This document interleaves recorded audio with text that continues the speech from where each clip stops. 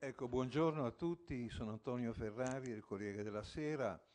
Volevo salutarvi eh, così, e cominciare questo incontro eh, molto importante dalla memoria della Shoah ai giusti del nostro tempo, un tema che per noi è molto importante, per tutti noi, per quelli che hanno scelto di, eh, così, di dare anche il proprio contributo sociale alla salvaguardia della memoria. Sono molto amico di Liliana Segre e Liliana Segre ha detto una frase che secondo me è fondamentale, dobbiamo lottare contro l'indifferenza. Oggi, eh, sap sappiate, io sono un ammiratore, un grande ammiratore che ho avuto la gioia di conoscere, che Bauman, Bauman per me, quando nei momenti di incertezza vado a rileggere Bauman. E Bauman ha detto una cosa lui non ha studiato la società per capire l'olocausto, ha studiato l'olocausto per capire la società. E questo io lo trovo estremamente profondo e è un uomo che a me ha fatto pensare e ha dato molto conforto. Siamo in un momento, altro che società liquida, forse ancora di più, siamo in un momento di grande incertezza e di grande bisogno di valori. Ecco, eh, prima di salutare tutti eh, singolarmente, eh, non ci sarebbe neanche il tempo, voglio dire che sono presenti l'ambasciatore eh, di Polonia, che saluto, volevo ricordare che anch'io ho un po' di sangue polacco nelle vene, quindi mi rende questo ancora più tosto, come, come si dice.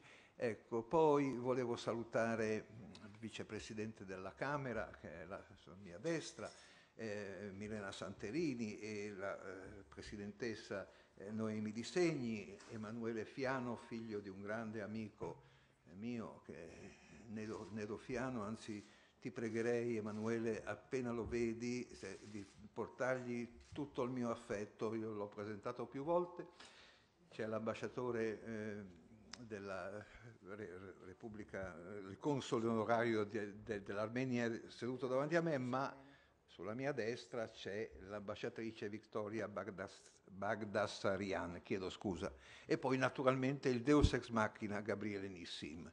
Voglio citare due amici che sono venuti, il Presidente della Commissione Esteri Fabrizio Cicchitto, che saluto, e l'Onorevole Verini, che saluto, oltre eh, a, tutti altri, a, tutti gli altri, di cui magari adesso non mi sono stati riferiti segni. Cicchito lo conosco e quindi ho visto immediatamente eh, di chi si trattava. Ma io credo che sia importante cominciare subito e vi, vi dico purtroppo una cosa molto molto franca.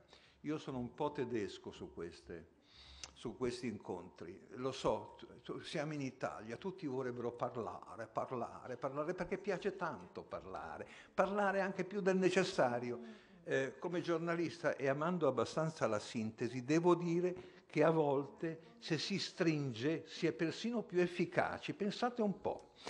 Saluto Françoise Canchindi perché è questo bellissimo fiore del Ruanda. Saluto tutti, saluto l'ambasciatrice Mirachian eh, sape, sapete, l'ambasciatrice Mirachian, mia grande amica ai tempi di Damasco, è stato con lei che sono andato a intervistare Bashar Assad eh, col mio direttore, poi l'ho intervistato altre volte, e una donna che fa onore alla nostra diplomazia. Ecco, io do subito la, la parola a Milena Santerini per eh, un saluto. Allora, guardate, io vi dico subito, per i saluti cerchiamo di contenere da tre a 7-8 minuti, massimo, ma proprio massimo. Per gli interventi dopo io chiederò 10. Se uno mi chiede in ginocchio di farne 11, me lo dice prima, ne facciamo 11, però sappiate che io a un certo punto intervengo e dico stop, come si fa nei grandi paesi, nei grandi paesi dove si rispettano i tempi, anche a costo di tagliare. In Grecia, per esempio, la povera Grecia, nella quale io vivo, addirittura durante i dibattiti televisivi si interrompe persino il primo ministro dicendo ah no, stop. Figuratevi in Italia, avremmo risolto molti problemi se lo facessimo, ma noi siamo italiani e via. La parola a Milena Santirini. Grazie molto Antonio Ferrari per aver già di fatto introdotto questo convegno, perché abbiamo voluto organizzarlo. Io qui alla Camera con la collaborazione di Gabriele Nissi e Garivo, perché abbiamo presentato una legge per ricordare i giusti e perché farlo oggi alla vigilia della eh, giornata eh, per la memoria della Shoah. E noi con la legge abbiamo inteso eh, promuovere la possibilità in futuro, il 6 marzo, anniversario della morte di Moshe Beischi, di ricordare i giusti. Alcuni pensano che la memoria della Shoah debba essere preservata come in un museo, sacralizzata, resa immutabile, congelata direi. Io non credo che questo sia il modo di onorare le vittime e circondare, perché questo per me è molto importante, circondare di rispetto, di affetto direi proprio, di attenzione i sopravvissuti. Penso in particolare ai miei amici Nedo Fiano, eh, Liliana Segre e Goti Bauer, che ieri aveva un po' di influenza e che ci manda i suoi saluti. Noi dobbiamo rendere indelebile questa memoria e trasmetterla ai più giovani, ma il modo per farlo non è quello di trasformare in un monumento il racconto delle vite perse, del dolore, della malvagità umana. Devono restare tra noi presenti. Ricard parla di epoch making, cioè di quegli avvenimenti che una comunità storica considera come decisivi perché ci scorge dentro un'origine, una sorgente sempre viva, perché hanno il potere di rafforzare l'identità della comunità. E questi eventi hanno, possono promuovere sentimenti intensi sia nel registro dell'esecrazione, della deplorazione, dell'indignazione, ma anche della compassione o dell'appello al perdono. Sappiamo che si tende a respingere questa memoria. Tre giorni fa a Milano qualcuno ha vandalizzato una delle pietre d'inciampo, avevo partecipato cerimonia. Sapete che le pietre d'inciampo vengono messe sulle porte di, di, delle case da dove appunto sono state deportate le persone. E domani si terrà una marcia a Milano appunto proprio per mh, dire che questo non Dopo deve domani. avvenire. Dopodomani, sabato, perché eh, naturalmente ancora oggi dobbiamo combattere con i negazionisti, con, con, gli, con l'antisemitismo, perché il tempo passa, affievolisce il ricordo, c'è l'idea che la memoria sia troppa, debba essere come diluita, c'è la par condicio, per cui se c'è l'olocausto c'è il, ci sono i gulag, ci sono gli altri genocidi, c'è la proiezione di fatti attuali come il conflitto Israele-Palestina e così via. Ma io vorrei citare un altro, un altro, un altro tema, un altro motivo, un altro aspetto. Di fronte al male si tende a fuggire e questo lo vorrei dire ai giovani presenti. Qui ci sono delle classi, c'è il Kennedy, c'è il Seneca, ci sono delle scuole di Velletri, spero di non dimenticare altri giovani che partecipano ai progetti sui giusti e sulla memoria. Certe volte si piange un po' su Anna Frank, sulle vittime, ma poi si esorcizzano gli eventi. Bene ha fatto la Presidente Noemi Di Segni, che, sono, che è qui accanto a me, a ricordare per esempio la marcia, una maratona, chiamiamola così, una corsa per la memoria, per dire che c'è anche il futuro, non c'è solo il passato. Chi ha partecipato come me agli incontri con adolescenti, con giovani, sa che sono imbarazzati, che spesso ridono, che spesso è difficile, diciamo in qualche modo, ottenere rispetto e silenzio. Sono superficiali? Sono un po' sadici? Sono indifferenti? Io credo che soprattutto stiano fuggendo di fronte a un male troppo grande, perché lo spettacolo del dolore è troppo forte e l'idea di un male assoluto che può vincere nella storia toglie il respiro. Questo non significa giustificare, eh? Eh, vedo che i giovani qui oggi hanno un atteggiamento completamente diverso, di attenzione, di rispetto. Io non sto giustificando questa superficialità che a volte sentiamo quando parliamo eh, ai giovani, ma credo che i giusti, ricordare i giusti sia un modo di considerare, non tanto di pensare che ci sia un lieto fine, eh? Questa è stata l'accusa che fu fatta a Benigni quando fece il film La vita è bella, no? Ah, ma allora hai edulcorato, hai reso troppo facile un dramma, eccetera, eccetera. I, I giusti sono il simbolo della possibilità di dire di no. Semplicemente questo, di dire di no. Un esempio di libertà che rende più vera la storia della Shoah, la rende più vera. Certo sono eccezioni rare, eh? sia chiaro, sono stati pochi quelli che hanno vinto la paura, il conformismo, il pregiudizio, perché siamo tutti facilmente spettatori passivi o volenterosi carnefici, anche solo accettando quello che succede. Mm, Gabriele Nissi parla spesso di nichilismo, no? nei giovani, eccetera. Ma i giusti non sono soltanto quelli appunto del passato, sono quelli che appunto ci dicono ancora oggi, nel presente, la possibilità di dire di no. Per questo abbiamo voluto ricordarli, abbiamo fatto una legge per poterli ricordare e oggi vogliamo collegare alla memoria della Shoah questa speranza, diciamo così, che ancora oggi, se si ripresenteranno e si ripresentano nella storia eventi così tragici, anche se certamente la Shoah è un unicum e io ne sono convinta, non perché la voglio sacralizzare, ma perché penso che il male assoluto nel cuore dell'Europa non si ripeterà in questa forma, ma potremo vedere appunto tante altre forme di razzismo, di pregiudizio, di antisemitismo.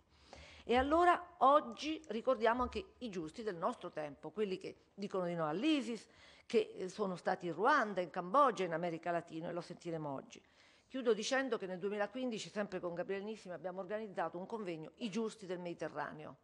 Lì abbiamo invitato quelli che salvano le persone in mare. Vorrei ricordare anche, permettetemelo, quanto è stato significativo che da due anni al Memoriale della Shoah di Milano la comunità di Sant'Egidio abbia accolto con la comunità ebraica con un'impresa veramente ecumenica, interreligiosa, 4.500 profughi, una cinquantina ogni sera. Quindi immaginatevi nei locali del Memoriale di Milano, chi non l'ha visto vada a vederlo, sotto la stazione dove, da dove è partita Liliana Segre il 30 gennaio del 44, immaginatevi nella parte del guardaroba e dei bagni le brandine con giovani eritrei, siriani, afghani, distrutti dal viaggio, quasi tutti musulmani, che dopo un giorno cominciano a capire che intorno hanno persone che li accolgono, che gli vogliono bene e dicono ma dove sono? Sei nel luogo da dove sono partiti gli ebrei nel 44.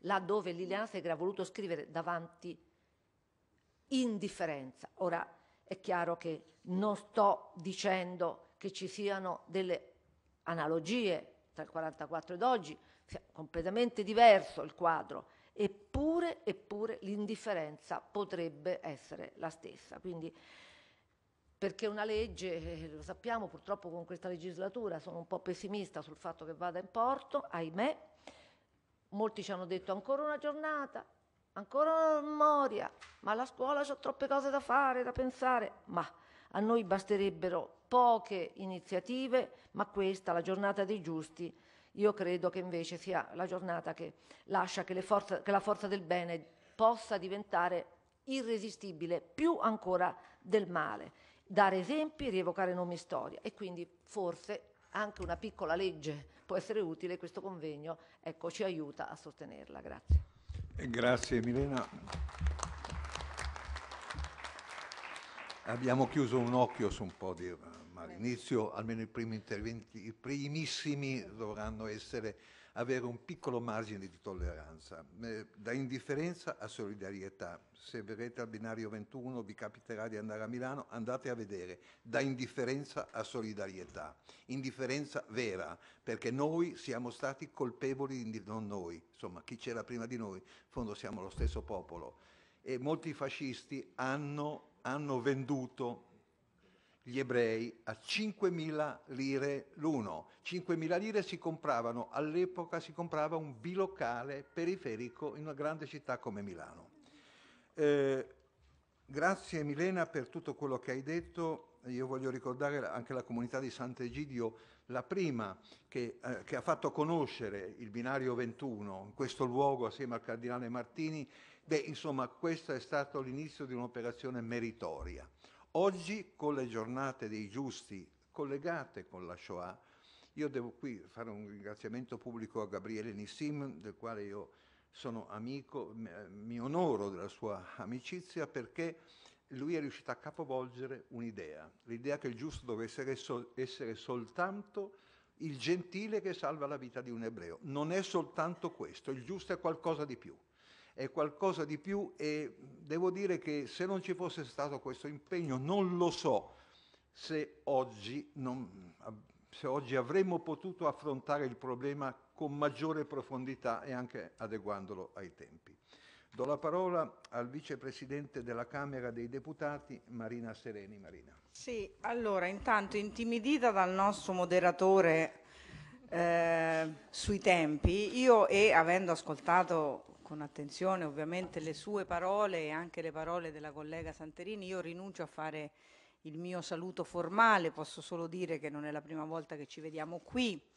Eh, penso di aver eh, non sono sicura che la legislatura durerà abbastanza per vedere la luce di questa leggina ha, a cui ha fatto riferimento la collega Santerini, che ha giustamente presentato insieme al collega Fiano, ma penso che la loro iniziativa rimarrà, anche se non riusciremo a concludere l'iter legislativo e potremo sicuramente continuare a lavorare su questo tema. Eh, io penso che eh, i ragazzi e le ragazze che sono qui, oltre le tante autorità, le tante personalità presenti che animeranno il dibattito, abbiano bisogno di ascoltare, di capire che cosa sono stati e che cosa sono i giusti e quindi proprio per questo non penso abbiano bisogno delle mie parole retoriche e formali. Eh, vorrei ascoltare anch'io perché non potrò rimanere molto e quindi ci tenevo molto ad ascoltare i relatori e le relatrici di questa, di questa iniziativa. Eh, vi saluto con grande affetto con grande, con grande piacere. E dico ai ragazzi ascoltate gli esempi perché stiamo parlando non di persone, non di eroi, Stiamo parlando di persone normali, di persone comuni, che ad un certo punto, di fronte alla follia, alla banalità del male, hanno saputo dire di no. E questo è molto importante perché noi siamo abituati a pensare che ci siano nel mondo il coraggio sia quello che viene espresso dagli eroi.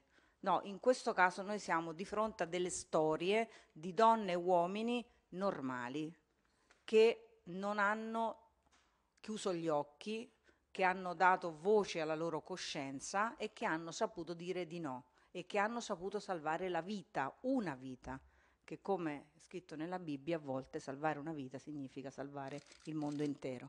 E quindi io credo che eh, siamo qui per questo, per dare diciamo, forza alla legge presentata dai nostri colleghi, se ce la facciamo l'approviamo avrete tutto il mio sostegno e il mio eh, apporto. Se non ce la facciamo, in ogni caso dobbiamo lavorare ancora perché eh, attualizzare il messaggio dei giusti è molto importante. Io quindi voglio ringraziare tutti, ma voglio ringraziare in particolare Gabriele Nissim perché è stato davvero straordinariamente importante il lavoro che lui ha fatto in questi anni a farci capire che non ci sono stati solo i giusti di 70 anni fa, ma ci sono ancora i giusti, ce ne sono stati tanti in questo secolo e ce ne sono ancora oggi mentre noi qui parliamo. Grazie a tutti e buon lavoro.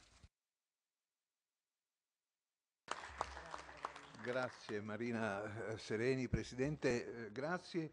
E Maria Sereni ha ricordato nobilmente un punto fondamentale. Quello non stiamo parlando di eroi, ma stiamo parlando di gente semplice, di gente come noi, di gente che ha saputo ascoltare la coscienza. E questo è veramente, eh, Presidente, la cosa più importante e per i giovani credo che sia l'esempio più importante ficcante. Ricordate, sono gente come noi, anzi alcuni personaggi tra i giusti sono, erano magari donnaioli, era gente che ne faceva di tutti i colori, però nel momento del bisogno è stato lì e ha detto pensate ai, ai, bulgari, penso, Nissim ha scritto un libro su un bulgaro, un bulgaro, la maggioranza bulgara, l'avete sentito quante scemenze abbiamo sentito? Questi hanno salvato tutti i loro ebrei, tutti, segno che sapevano e, e noi non sapevamo, noi eravamo zitti in silenzio, ma Noemi di Segni, la parola a te. Buonasera a tutti. Scusate. Illustre Vicepresidente Sereni, signora Ambasciatrice Bagdassarian, signor Ambasciatore Orlovski, onorevole Cicchitto, onorevole Fiano, onorevoli deputati e deputate, caro Presidente Nissim, cari amici, ma soprattutto carissimi ragazzi. Porto il profondo e commosso saluto di tutte le comunità ebraiche italiane in questa prestigiosa sede e ringrazio sentitamente l'onorevole Santerini per aver fortemente voluto e promosso questa riflessione dedicata ai giusti. Il riconoscimento che è stato fatto in Israele dei giusti, di cui si è parlato molto e che conosciamo bene dal 63 in poi, è di circa 26.000 persone, di cui 670 italiani, almeno questi sono i numeri che risultano a me. E I criteri di Yad Vashem sono criteri molto, rigoro- molto rigorosi, cito solo i principali tre. Un atto di salvezza concreto e preciso, il rischio alla propria vita e non aver percepito nessun compenso. Allora la memoria della Shoah impone un forte e assoluto distinguo, questo abbiamo detto, un'assoluta comprensione che quell'orrore appartiene ad una vicenda spazio-temporale che non ha uguali.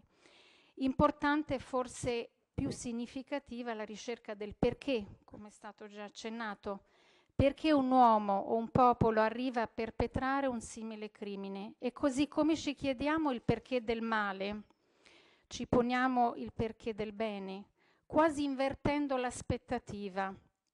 È talmente tanto tanto il male vissuto che è quasi normale, è talmente talmente raro il bene che rimaniamo sconvolti e vogliamo fare questo atto di riconoscimento di questo bene. Non è da tutti essere giusti, forse si è giusti nell'essere persone semplici tutti i giorni, ma c'è quell'altra parte della medaglia.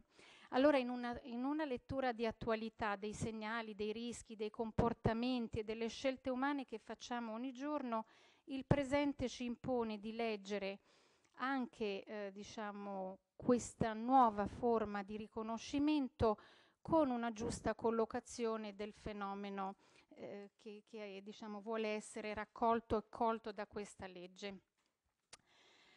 Eh, voglio chiudere con una um, poesia di una poetessa che si chiama Rachel, vissuta in Israele, molto conosciuta, e cerco di tradurla dall'ebraico in maniera molto spontanea perché non so se è tradotta formalmente in italiano, quindi accettatela per come una traduzione spontanea. Chi sei? Perché una mano tesa non incontra una mano sorella? E gli occhi che trattengono lo sguardo appena, ecco si abbassano imbarazzati un giardino chiuso a chiave, senza viale, senza strada. Un giardino chiuso è l'uomo. Me ne devo andare oppure batto sulla roccia fino a quando non perdo sangue. Allora, se questa è la descrizione dell'uomo di un giardino chiuso, io credo che con l'opera che ci ha portato Gabriele Nissimi in tantissimi anni e questa iniziativa e questo riconoscimento Forse ci saranno molti giardini aperti, molti uomini che hanno un cuore che è un giardino e se ciascuno di noi fa anche una piccola goccia di bene, forse il mondo sarebbe un po' più verde. Grazie Noemi Di Segni. Grazie per le tue parole, mi permetto di darti del tu. Eh, mi è piaciuta molto anche la vostra corsa, mi piace questo modo di, di vivere questa, questa, realtà e grazie per le parole che hai detto.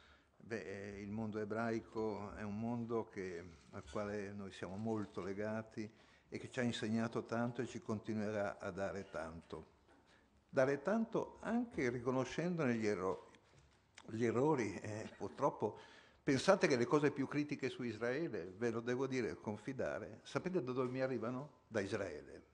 I migliori giornalisti sono quelli israeliani che scrivono delle cose sul primo ministro che forse in Italia queste cose non so se si siano lette. Ecco, questa è la verità, è inutile che ci giriamo attorno. Do la parola all'ambasciatrice Victoria Bagdassarian. Prego. Grazie. Cari amici, sono lieta di essere qui alla vigilia delle commemorazioni per la giornata della memoria e di condividere con tutti voi l'importanza dei giusti tra le nazioni. Ringrazio la vicepresidente della Camera Marina Sereni per l'ospitalità. Ringrazio gli organizzatori dell'evento, l'onorevole Milena Santerini e Gabriele Nissin per Garivò. Saluto la Presidente Noemi Di Segni dell'Unione Comunità Ebraiche Italiane e tutti gli altri relatori. Oggi siamo qui per ricordare e siamo qui per tramandare.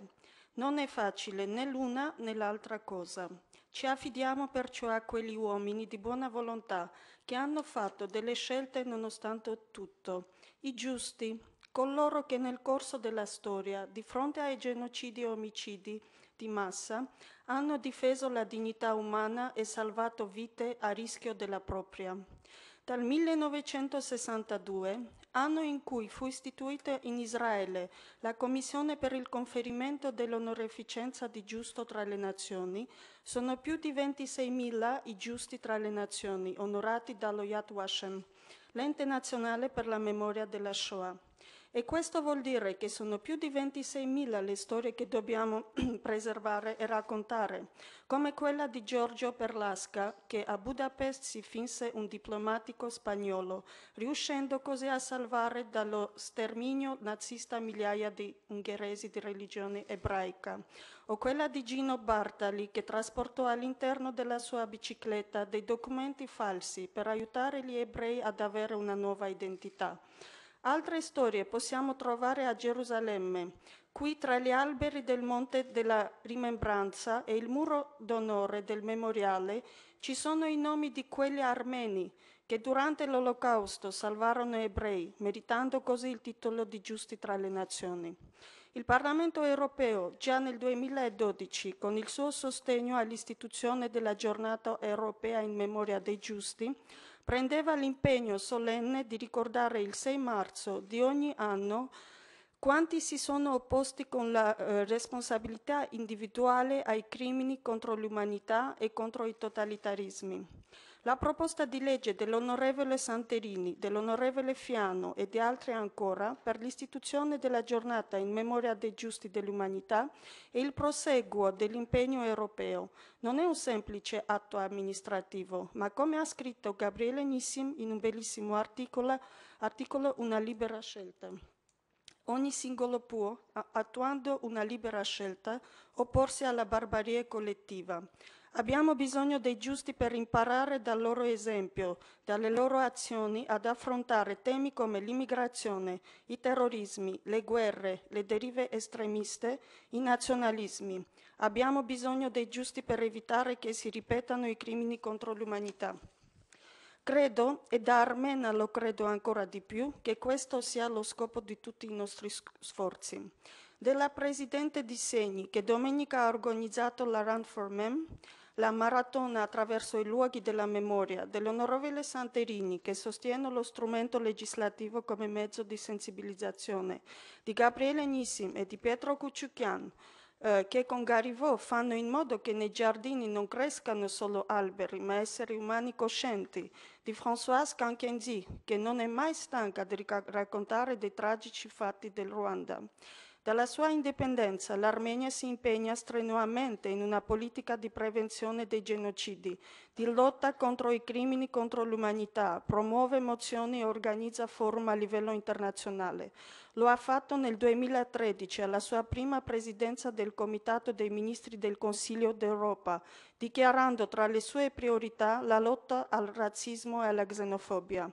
È su iniziativa armena che nel marzo del 2015 a Ginevra il Consiglio dei diritti umani delle Nazioni Unite ha adottato la risoluzione sulla prevenzione del genocidio e grazie a questa risoluzione che la proposta di istituire il 9 dicembre data dell'adozione della Convenzione della prevenzione del crimine del genocidio come il giorno della commemorazione delle vittime del genocidio. È stata approvata dall'Assemblea generale delle Nazioni Unite.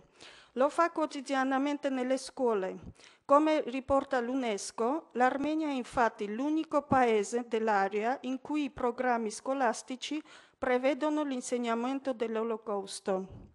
Lo ha fatto ancora nel 2015, quando The Armenian Genocide Centennial, che ha coordinato gli eventi commemorativi del centenario del genocidio degli armeni in tutto il mondo, ha sottolineato l'importanza della gratitudine, del riconoscere il profondo valore morale di chi ha salvato, salvato una, decine, centinaia o migliaia di vite umane perché, voglio ribadirlo con forza, ricordare il bene ricevuto è un atto di prevenzione.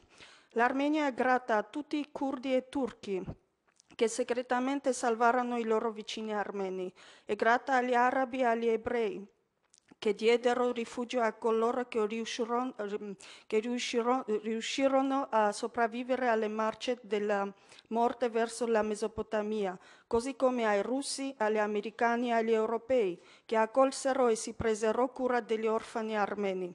E grata ai religiosi, ai missionari, ai diplomatici, alle personalità pubbliche e a quelle nazioni che hanno partecipato agli sforzi umanitari e grata agli studiosi, ai ricercatori, agli intellettuali in genere che hanno impiegato e proseguono a farlo le loro forze per fa- fare luce su un crimine commesso più di cento anni fa.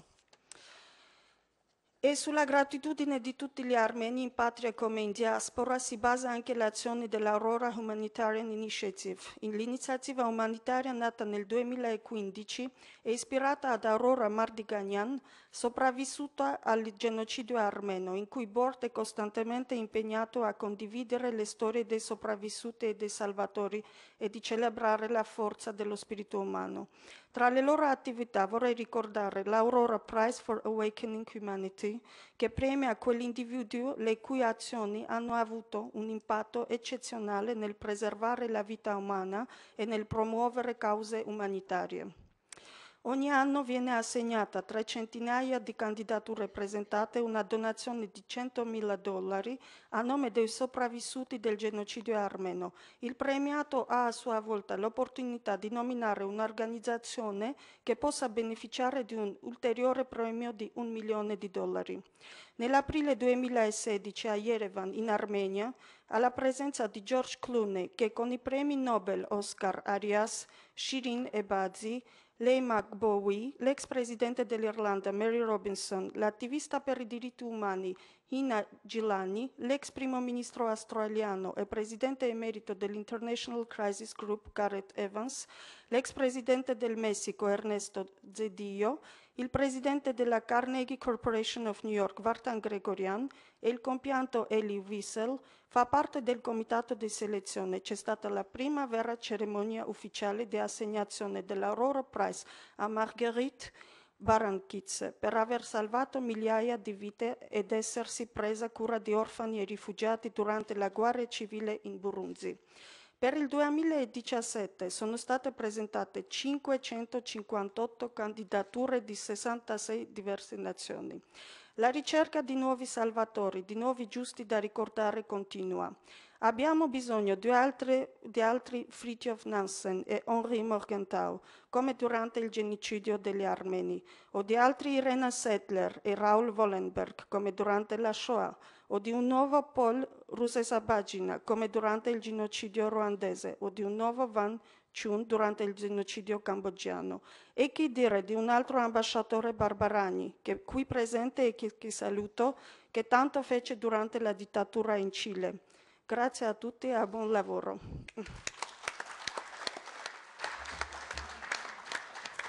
Grazie ambasciatrice, tra l'altro eh, voglio salutare eh, un neo arrivato che è l'onorevole Gabriele Albertini, grande amico amico di Gariwo, am amico nostro, sindaco di Milano. Ecco, e devo dire che se abbiamo una legge al Parlamento europeo è anche un po' merito suo che si è battuto assieme a Gabriele Nissim. Do la parola a Emanuele Fiano. Grazie. Se devo trasferire in un'immagine complessiva la battaglia che io penso intercorra sempre tra un uomo e la sua memoria, io penso ad una vasta prateria, che è quella che noi attraversiamo da qualche decennio. Sempre più larga e vasta la prateria della memoria man mano che le generazioni di coloro che furono testimoni oculari vanno spegnendosi. È un campo sempre più aperto quello della memoria, sempre meno predominio di qualcuno di noi, sempre meno figlio di un'unica egemonia culturale di chi fu allora e poi con le generazioni dei propri figli dalla parte del giusto, dalla parte dei giusti o dalla parte delle vittime. È un campo pericoloso quello della memoria, un campo molto aperto che rischia di sfuggire al nostro controllo. Siccome è stato citato un grandissimo accompagnatore di questa nostra età così difficile, direi, e lo ha citato prima Ferrari, che forse si potrebbe dire con le parole di Bauman, che oggi la memoria è sempre più liquida. E certamente la memoria, se la memoria della Shoah rimanesse semplicemente la conservazione di una reliquia, eh, questo non basterebbe, nonostante noi ebrei siamo certi di avere il dovere della perpetuazione della memoria tra le generazioni. Io penso che Gabriele Nissim sia stato il protagonista di una rivoluzione, sin dal primo momento in cui decise di tradurre l'intuizione di Moshe Beisky in un messaggio universale, perché è la memoria del bene che ci fu dentro il male e che c'è ancora dentro il male che può diventare lezione, perché è il bene che può diventare lezione, non il male. E le lezioni per tutti noi, a prescindere dall'età, sono elemento di crescita e sono elemento di identità. Io penso che nella crisi di identità dell'Occidente contemporaneo vi sia una crisi di capacità della memoria.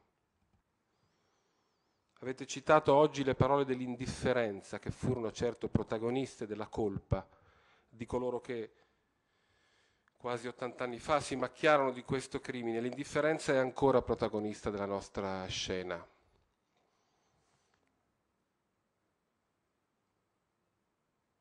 Poche ore fa ehm, a Venezia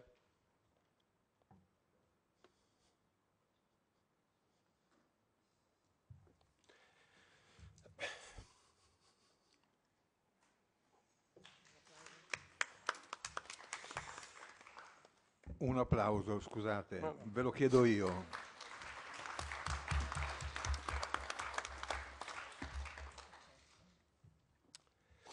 Mi ha molto colpito che poche ore fa a Venezia un, un ragazzo ghanese del Ghana, un profugo,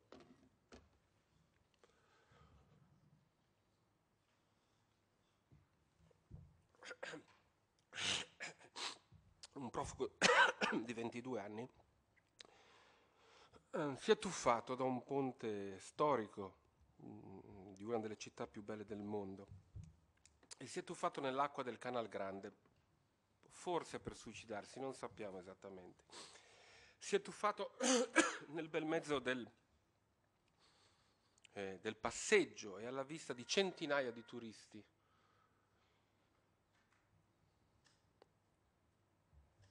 proprio dove lui si è tuffato nell'acqua fetida e fredda del Canal Grande, passavano due vaporetti, due elementi così caratteristici di quel paesaggio. E mm, tutta la scena è stata filmata da un telefonino e si vede questo ragazzo che non sa nuotare, si vedono le, le tipiche mosse di chi non sa nuotare e sta affogando. Nei primi secondi di questa scena si sentono eh, delle parole, delle urla irripetibili, eh, rivolte a lui, al suo essere africano, a lasciarlo morire. Poi, nei momenti finali,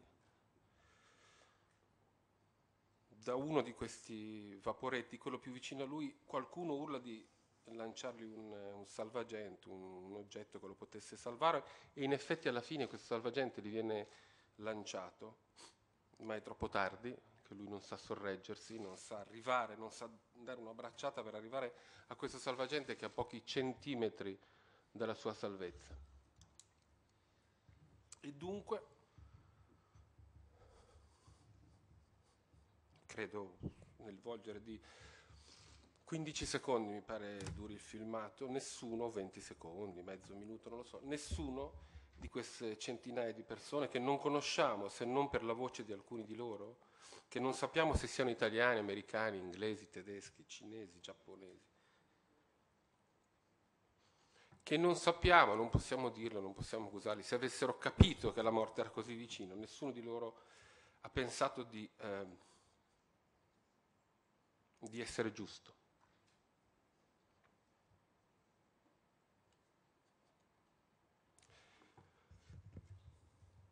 Ha detto, e concludo, ha detto Anna Arendt,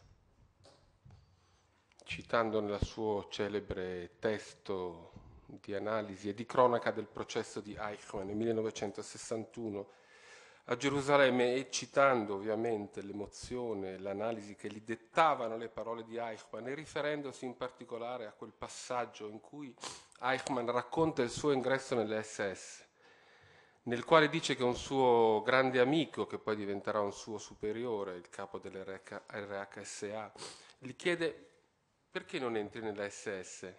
gli chiede il capo, il suo superiore, che poi era un suo amico in quel momento, perché non entri nel partito nazista? E Eichmann gli risponde, eh sì, perché no? Ed entra. E Anna Rand fa una, un approfondimento, una riflessione in un altro testo, che non è la banalità del male, e dice giustamente, secondo me, che il male nella storia del mondo sta sulla superficie e si nutre degli ignoranti di coloro che non hanno idee e che il bene invece scava nel profondo. Il bene è uno sforzo oltre che un dovere. Ed è per questo, ed è per questo valore del bene che l'opera di, di Gabriele Nissim, di Milena Santerini, tutti quelli che a partire da Gabriele Nissim hanno costruito Garibo e i Giardini dei Giusti e oggi la legge sui giusti che cerchiamo di far approvare in Parlamento fanno un grande sforzo perché la memoria di ciò che è stato non venga persa.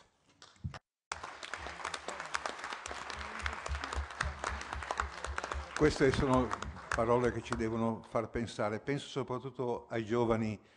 giovani eh, l'esempio di Venezia, se volete, la prova che l'indifferenza c'è, vive con noi, è quella che dobbiamo sconfiggere Beh, questo è stato un esempio illuminante, è accaduto oggi, stamattina, eh, 25-26 di gennaio 2017. La parola a Gabriele Nissim. Grazie. Io, io, mando un accorato appello eh, a tutti i deputati del Parlamento italiano, di tutte le tendenze politiche, per fare un piccolo sforzo, perché noi dobbiamo far approvare questa legge in questa legislatura. Noi siamo partiti già dalla legislatura precedente e poi Milena è intervenuta eh, tre anni fa, ha presentato la legge. Questa legge è molto semplice, sono due o tre capitoletti, non, non, non, obbliga nessuno a, onorare i giusti, no, non costa nessun denaro, io credo che forse la commissione, la commissione con, potrebbe diventare consultiva, la commissione di affari eh, legislativa, cioè potrebbe esserci un accordo, io credo, di tutti, perché io penso che anche un segnale, questo paese diviso, le forze politiche sono divise, allora pensate, in questo momento così conflittuale, le forze politiche che si uniscono assieme per una legge sui giusti. Io credo che sarebbe un messaggio morale grandioso per il nostro Paese e anche per le prossime campagne elettorali, perché noi dobbiamo sconfiggere la cultura dell'odio, del nemico e della, dif- della diffamazione. Io credo che i momenti che viviamo oggi sono momenti un po' più difficili. Churchill diceva che nessuno si aspettava quello che sarebbe successo e poi è successo. Oggi ci sono molti segnali negativi.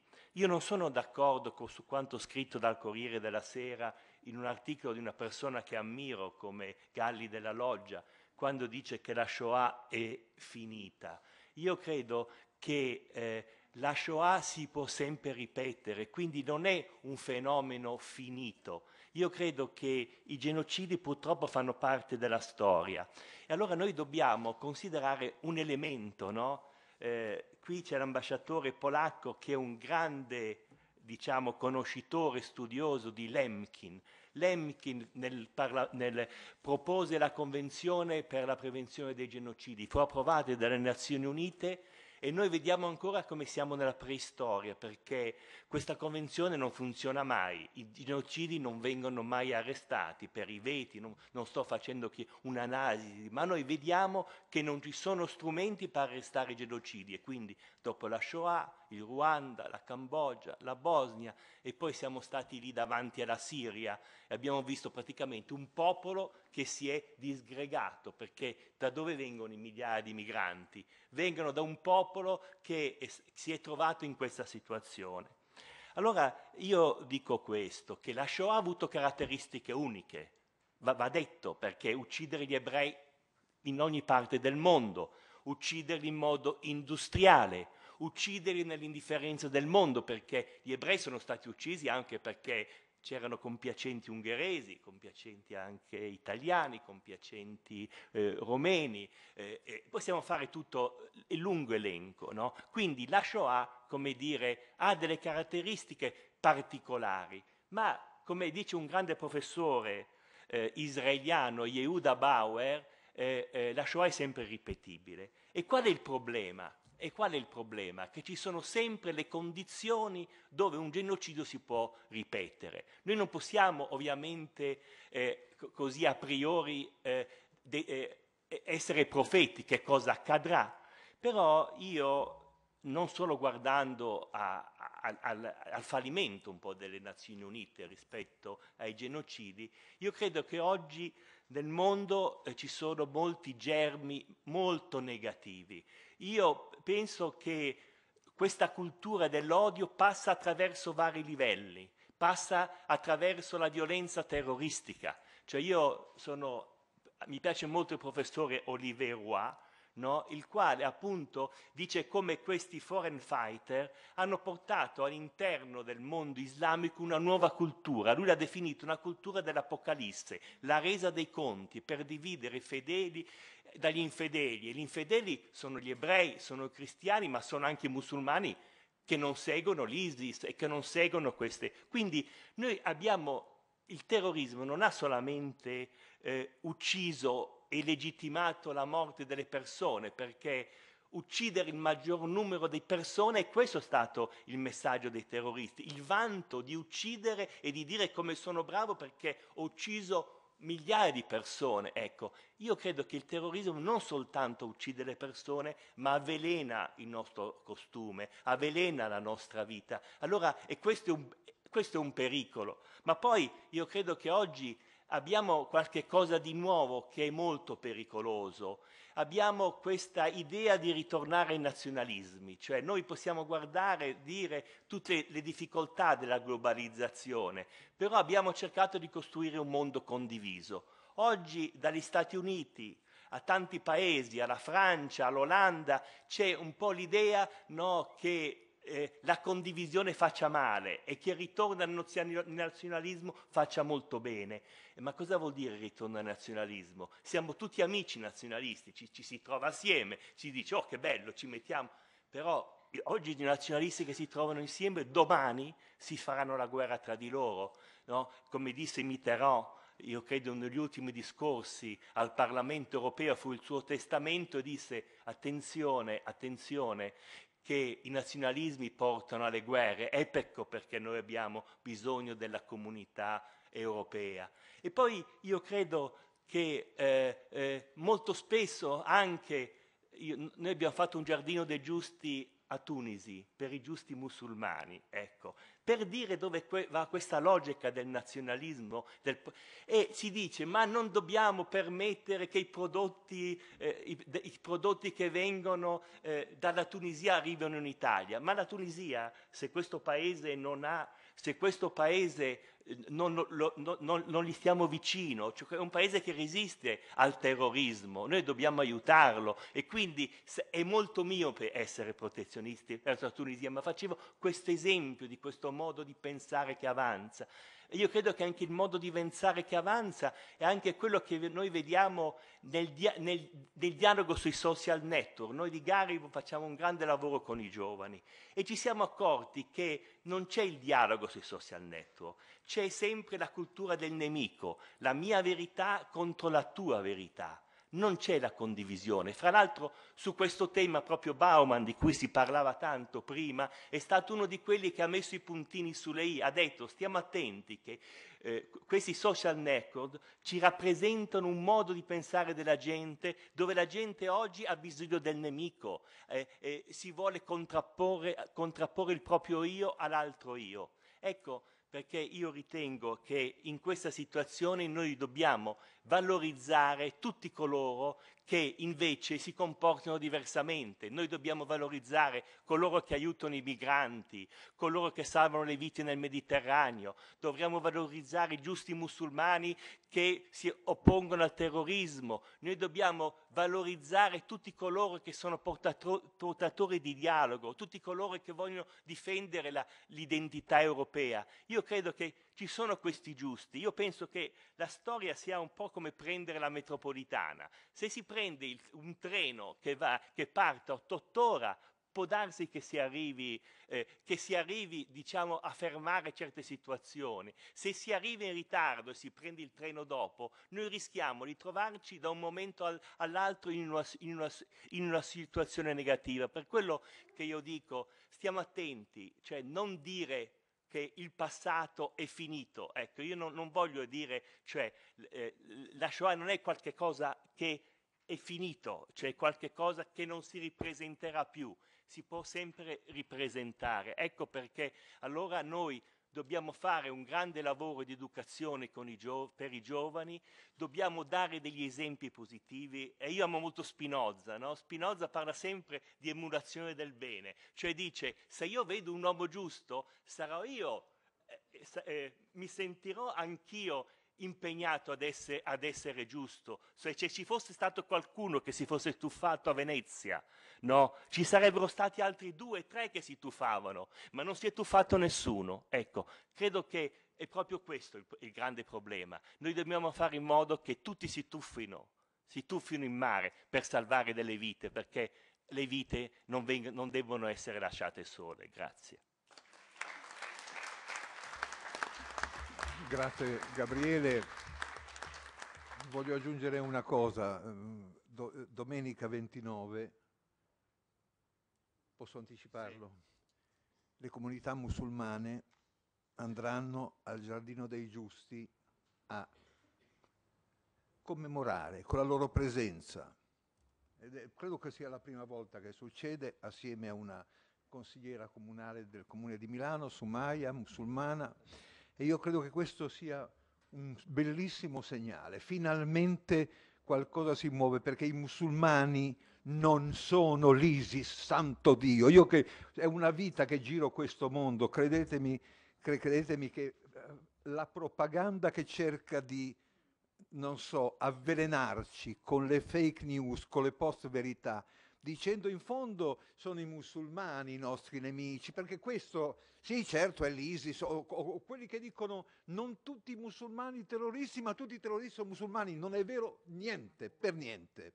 E questo lo vorrei sottolineare e io vorrei ringraziare ancora eh, Nissim per quello che ha detto. Volevo aggiungere due cose, una cosa che mi sta molto a cuore penso soprattutto ai, ai ragazzi, ai, ai giovani, ma anche agli altri. Le post-verità Attenzione, perché oggi siamo non soltanto nella post-verità, cioè la menzogna sulle notizie, ma siamo addirittura ai commenti sulle notizie false.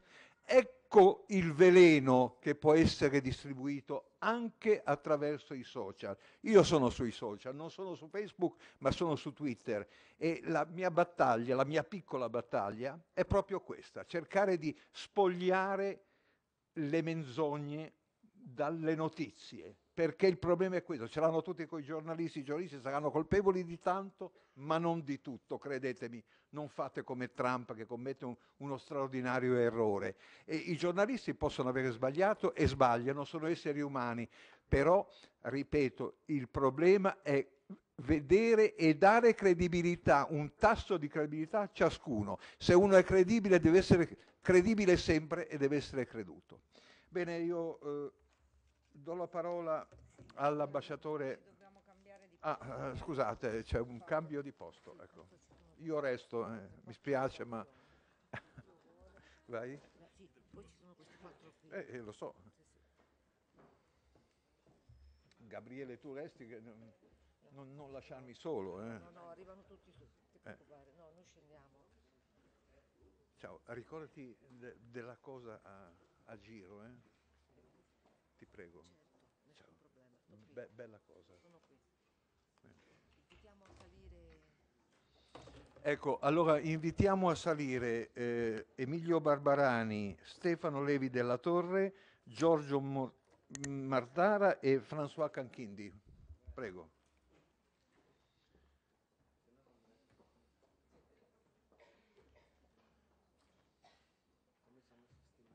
Per il momento abbiamo rispettato più o meno i tempi e desidererei che continuassero a essere rispettati. Speriamo.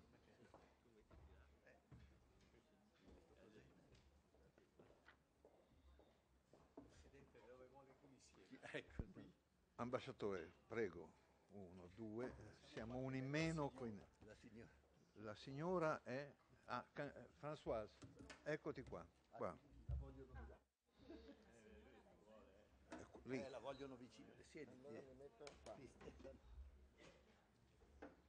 Françoise è una cara e coraggiosa amica. Eh?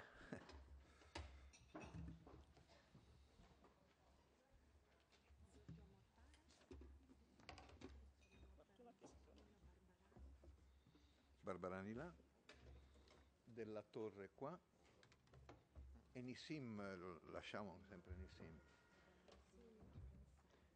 Noi, no- noi non cerchiamo eroi, ma Nissim è quasi un nostro eroe. ciao Emanuele, ciao.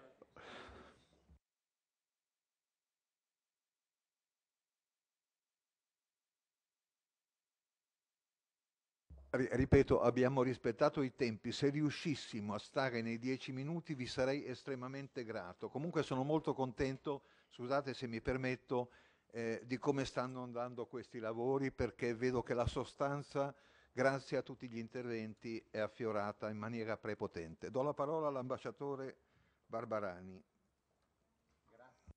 Grazie Presidente.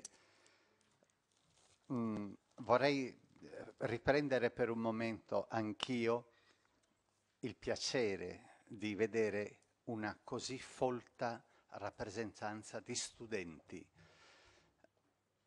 Il tema delle ombre del recente passato e delle luci che lo hanno illuminato, che è quello che in parte stiamo trattando in questo momento, è stato affrontato in varie riprese, in varie occasioni qui a Roma.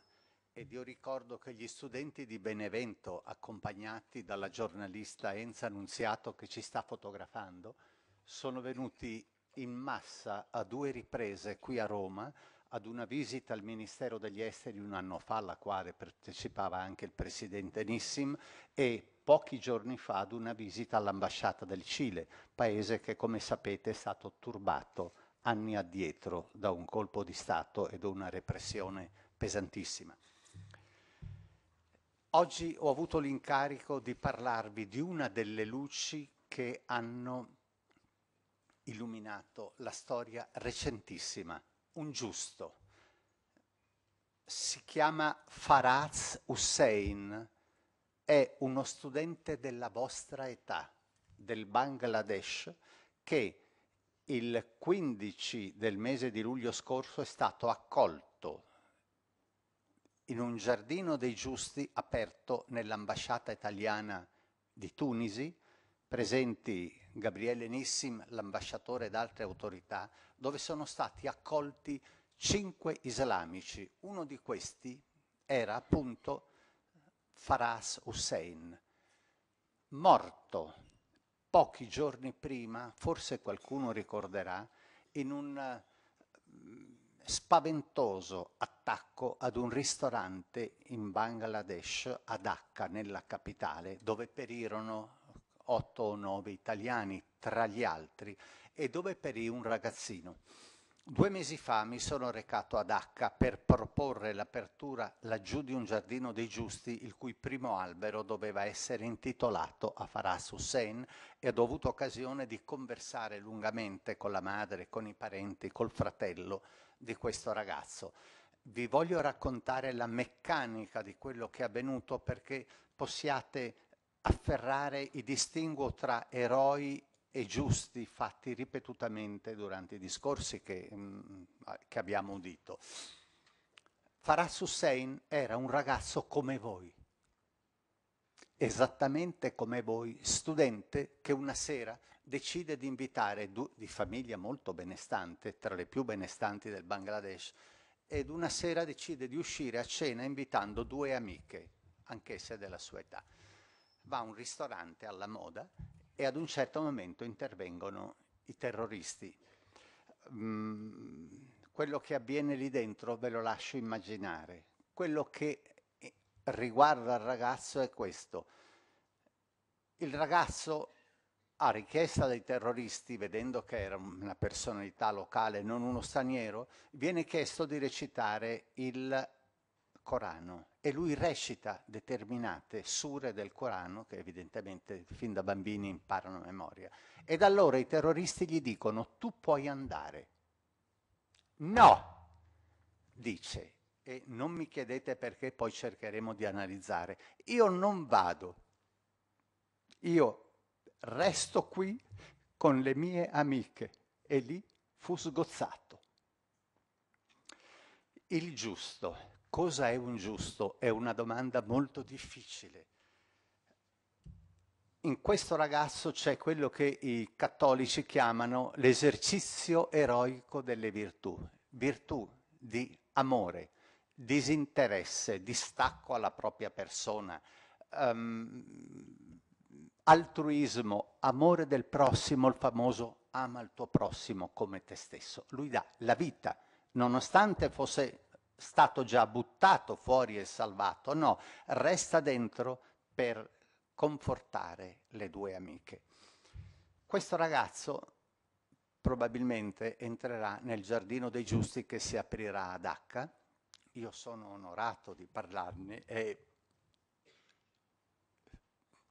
un esempio luminoso di quello che il giusto di oggi, una persona normale che ad un certo momento, invaso da una misteriosa forza dall'alto, si ribella e dice no, non è possibile. Il suo senso della giustizia, dell'amore, dell'altruismo prevale su qualunque considerazione. Ve lo segnalo perché, come diceva Gabriele Nissim, abbiamo superato delle epoche d'ombra, ma non è escluso che si ripetano. Viviamo in un mondo di ombre e di luci, dove a volte le ombre sembrano prevalere. Terrorismo, guerre, mh, mm, battaglie, sequestri, commercio di uomini, donne e bambini, scontri tra abortisti e non abortisti, attentati, l'ira di Dio, la, la, qualcuno dice appunto l'Apocalisse sta arrivando e non sono pochi a dir questo. Guardate Garivo e il suo presidente propongono al mondo degli esempi da seguire, da guardare. C'è gente che lo ha fatto e che lo fa, ma non si conosce perché i mass media preferiscono parlare di altre cose.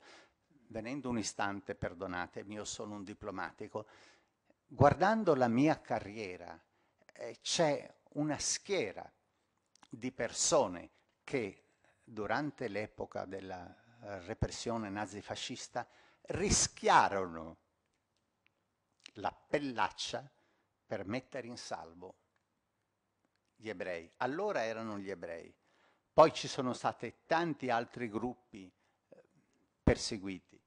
Oggigiorno la persecuzione la, la schiavitù, la persecuzione gli orrori si spandono equamente in tutto il mondo. È qui che il giusto deve emergere ed è qui la funzione del giardino dei giusti di mettere sulla pedana queste persone perché enucleino, evochino in noi che c'è anche un modo di vivere diverso.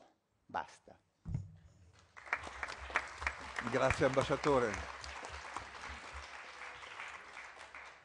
Ombre che rischiano di essere prevalenti rispetto alle luci, ma bisogna fare in modo che queste luci si moltiplichino. Io credo che il ruolo di Gariwo sia un ruolo straordinariamente importante, straordinariamente importante perché eh, io credo che soltanto con l'esempio che può essere imitato si può arrivare a questa specie di piccola moltiplicazione. E, e forse l'esempio dei profughi, eh, l'esempio che abbiamo sentito con grande emozione prima di questo eh, ganese che si è buttato nelle acque del Canal Grande, beh, mi fa venire in mente una cosa, se avete letto questo libro di eh, Andrea Riccardi dove si parla di periferie. Bene, anche Gesù Cristo era un profugo, perché quelli che arrivavano da Nazareth erano considerati la serie B dai dottori del Tempio di Gerusalemme. Questo ci dovrebbe aiutare a far pensare Gesù è un personaggio storico al di là delle fedi di ciascuno. Do la parola al professor Stefano Levi della, Levi della Torre, saggista, grande amico e grande amico di Gariwo. Sì, qui è spento, come si fa a accendere? Qua.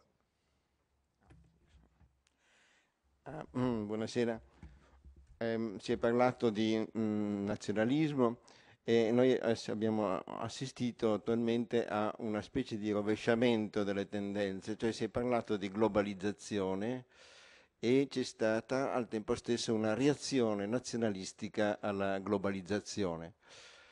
Io riassumevo questo fenomeno, dicevo, questo ribaltamento, che in un certo senso è connesso, cioè la globalizzazione è un aumento di dimensioni in cui quelli che si sentivano, diciamo, tranquilli a casa loro come maggioranza si trovano in questa dimensione a scoprirsi minoranze, perché tutti siamo minoranze all'interno di tutto il pianeta. No? Ora, ehm, diciamo, l'atteggiamento, la, la sensazione di il proprio essere, insomma, di minoranza o di maggioranza sono molto diverse. Cioè la, la minoranza coglie l'altro essenzialmente come una inevitabile circostanza in cui si muove, che sia inevitabile buona o inevitabile cattiva, in ogni caso l'altro è inevitabilmente presente. La maggioranza invece è quella che sente l'altro essenzialmente come una, un di più, che può essere accettato, non accettato, rifiutato, oppresso, scacciato. E quindi questo passaggio, questa scoperta di sé nella globalizzazione, di essere diventati minoranze, cioè questo punto di vista in cui l'altro è inesorabilmente presente come nostro contesto, produce questa reazione nazionalistica, cioè di come chiudersi in modo da recuperare la, una psicologia, diciamo una sicurezza di maggioranza. Questo è quello che sta succedendo. Questo vuol dire che quelli che si riproclamano maggioranze come maggioranze, diciamo, egemoniche, sessuali per esempio, no? il maschilismo che dal, non è soltanto diciamo, nel mondo islamico che ha una rivalsa, ma anche dalle nostre parti, lo vediamo in Trump per esempio rappresentare chiaramente questa rivalsa di tutti quelli che si sentono maggioritari, non, non è detto che sia una maggioranza quantitativa, è una maggioranza di egemonia, no? di dominazione. Ecco, questa è la reazione che c'è attualmente. E, ehm, quindi questo nazionalismo, e giustamente Nissim diceva, eh, il nazionalismo può essere, diciamo, che tutti i nazionalisti possono sentirsi in un certo momento affratellati, dopodiché non possono che venire alle mani, no? perché il nazionalismo ha appunto diciamo, questo carattere. E siamo in una situazione in cui le democrazie, i sistemi democratici dimostrano una loro incapacità di affrontare la crisi, quindi c'è una crisi delle democrazie. Quindi abbiamo una rivalsa dei nazionalismi, una rivalsa degli spiriti di maggioranza, una rivalsa degli spiriti anche diciamo del, del sentirsi, del narcisismo di maggioranza. Per esempio il razzismo è una caratteristica eh, espressione di quello che è la consolazione narcisistica di chi pretende di conservarsi come maggioranza. No? Questa è la situazione, questi sono crisi della democrazia, quindi la sua incapacità dimostrata a, controllare la crisi, eh, la rivalsa delle maggioranze, dello spirito di maggioranza, il nazionalismo. Queste sono condizioni che eh, rievocano le condizioni che hanno portato alle tragedie del XX secolo e in particolare anche alla Shoah. E quindi noi commemoriamo la Shoah in una situazione molto allarmante, perché noi vediamo accumularsi in questo periodo delle tendenze che, mh, mm, che sono affini a ciò che ha preparato ehm, i grandi stermini e i grandi totalitarismi del XX secolo. Ora, quando viene avanti un'idea come quella di dire la mia vita vale centomille volte più degli altri, no? viene spontanea questa idea e poi dopo viene a confermarsi, a consolidarsi, a diventare ideologia, quando viene avanti diciamo, una lotta acerrima per eh, acquisire e impossessarsi delle risorse del mondo e si pensa che alcuni gruppi umani possano, debbano avere diciamo, il privilegio di esistere nell'agio ed altri invece morire di fame, abbiamo tutti i caratteri per dire che sotto questa luce Auschwitz non è soltanto una terribile memoria del passato, ma è anzi una profezia cioè di una possibilità di cose che possono ripetersi e avvenire. Abbiamo gli elementi per dire è possibile che avvenga. Non soltanto che avvenga nei confronti, in quanto Shoah, diciamo nei confronti specificamente degli ebrei, ma che avvenga ai danni di qualunque gruppo umano. E allora c'è da dire che la memoria della Shoah, che la Shoah stessa non è soltanto, non è certo, diciamo, è, è certamente diciamo, un culmine delle efferatezze di massa, è senz'altro qualcosa di specifico, come specifico è l'antisemitismo, ma tuttavia noi la qualifichiamo come un crimine contro l'umanità, perché non riguarda soltanto, non è un affare degli ebrei, è un affare di tipo universale e quindi il suo insegnamento non è quello di dire la Shoah richiama soltanto un debito gigantesco dell'umanità nei confronti degli ebrei. La Shoah dice che la Shoah richiama un debito, un senso di debito di tutti quanti, compreso gli ebrei e Israele, nei confronti di ciascuno. Questa è la, è la cosa, diciamo, anzi una polemica che è in corso, se la Shoah possa essere messo in confronto con altri stermini altre efferatezze di massa, o se la Shoah invece debba essere assunta come assunta anche dal punto di vista giuridico, nel sistema giuridico internazionale, come termine di paragone di tutte le atrocità e tutti i genocidi che sono avvenuti, che stanno avvenendo e che avverranno perché non abbiamo l'illusione di fermarli, abbiamo l'illusione di combatterli, di osteggiarli e di cercare poi dopo di risalire la china in cui queste stragi e questi genocidi comportano. Un ultimo aspetto che voglio dire è questo.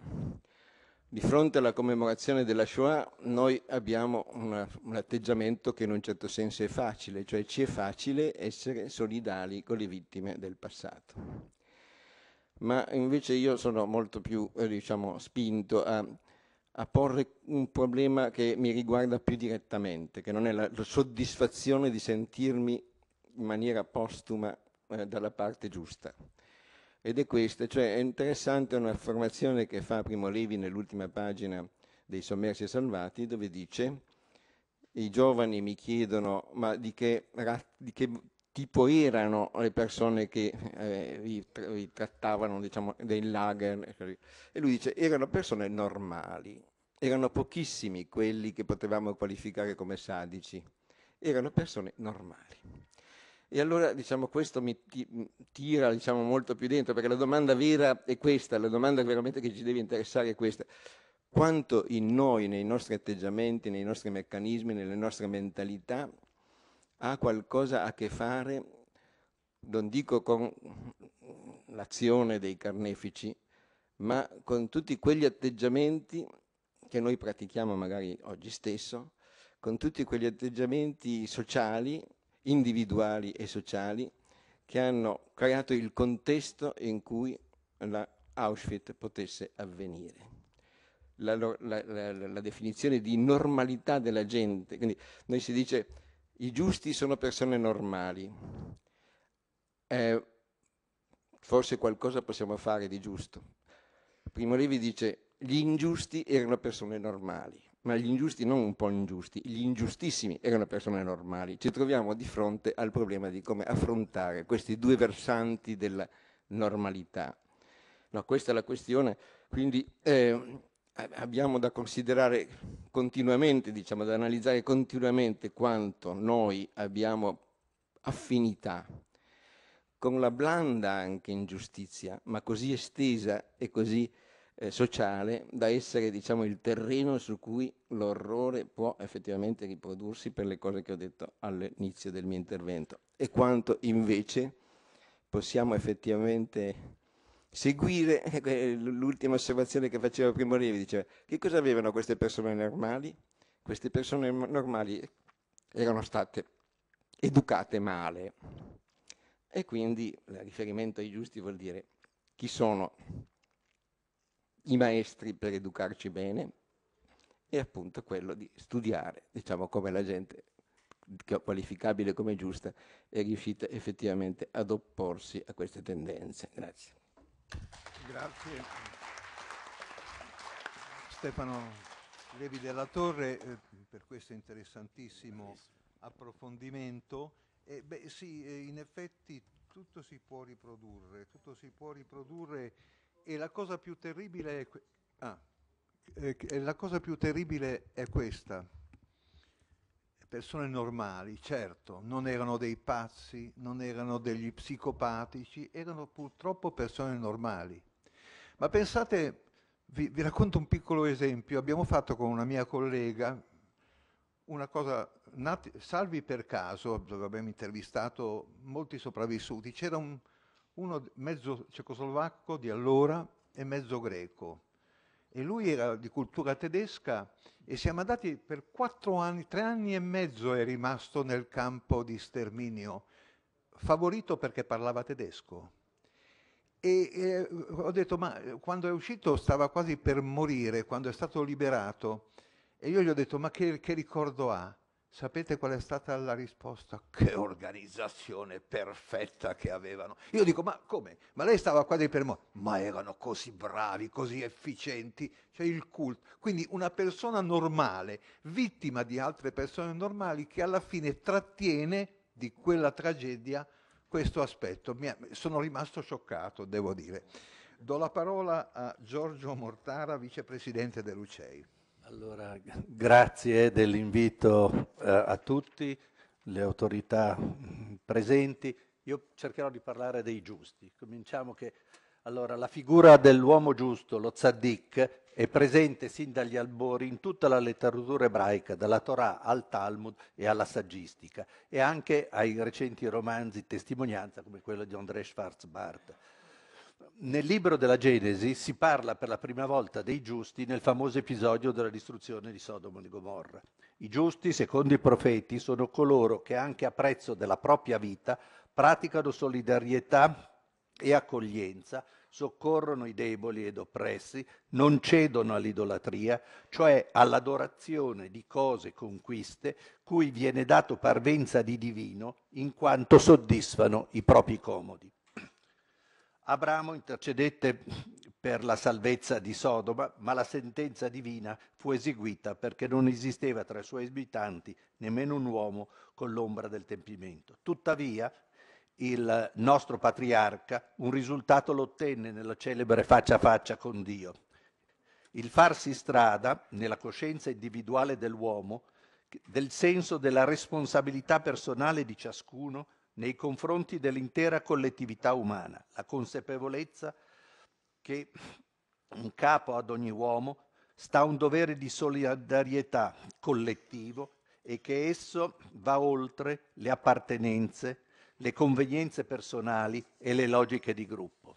La tradizione ebraica afferma che in, in qualsiasi generazione nella storia dell'umanità esistono sempre 36 giusti che ne garantiscono la continuità. Questi Lamed Vav, come sono chiamati nel mondo ebraico i 36 giusti, non sono distinti dai comuni mortali e spesso non sanno d'esserlo neanche loro.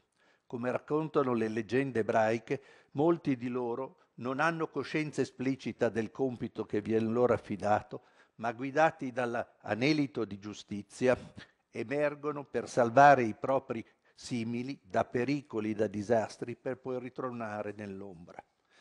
Questa tradizione ci insegna che anche nell'abisso più buio e anche nella condizione storica più disperata c'è sempre un barlume di giustizia e un esempio di umanità al quale possiamo aggrapparci.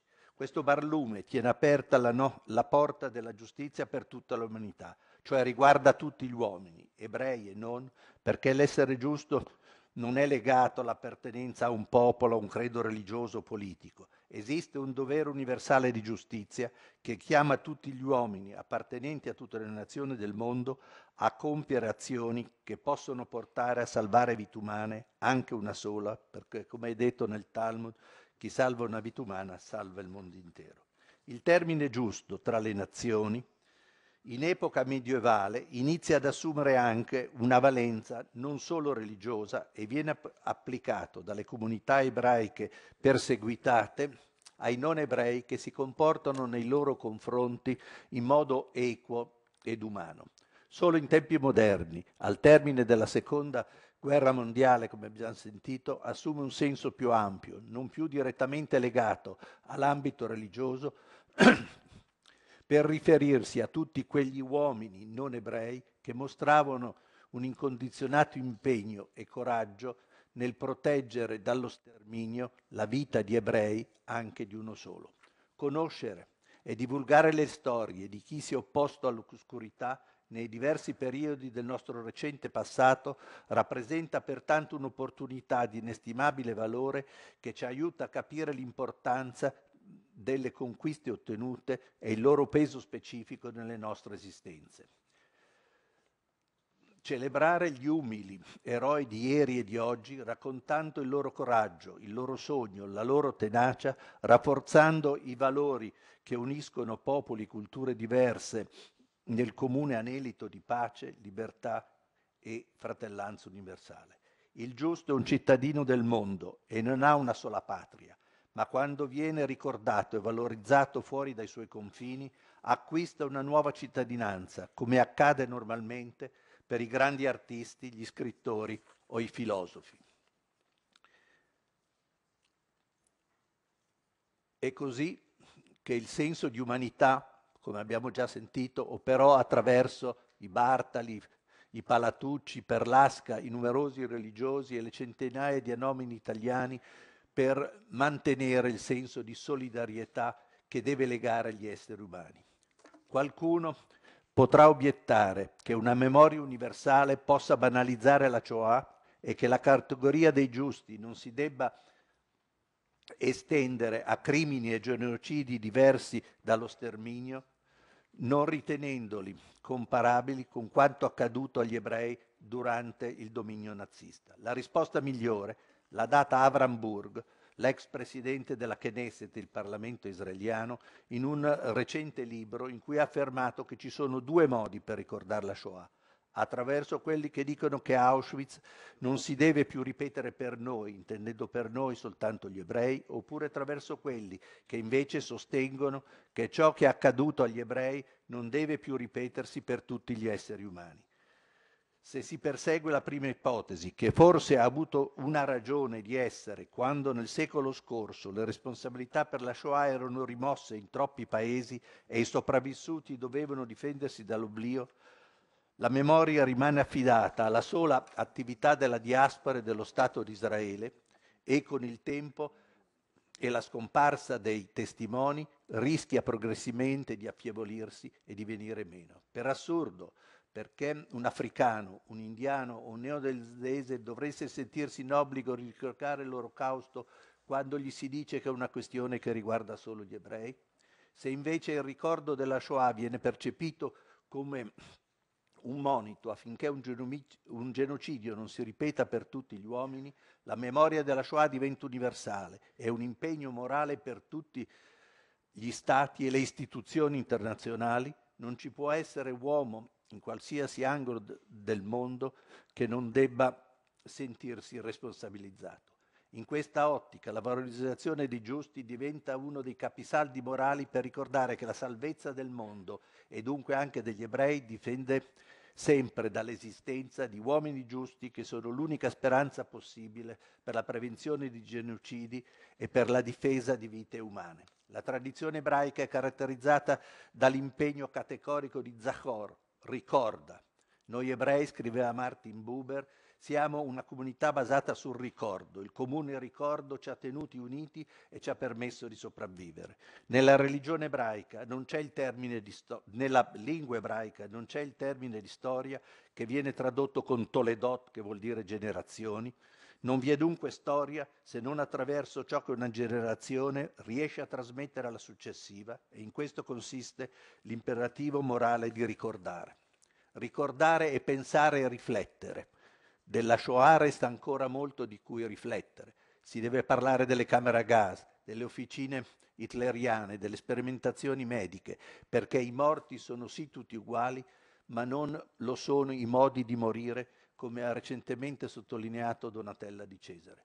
Non vogliamo che si ripeta né la fabbricazione dei cadaveri, né tantomeno quell'annientamento del non uomo mai compiuto prima in cui l'umanità stessa è stata messa in questione.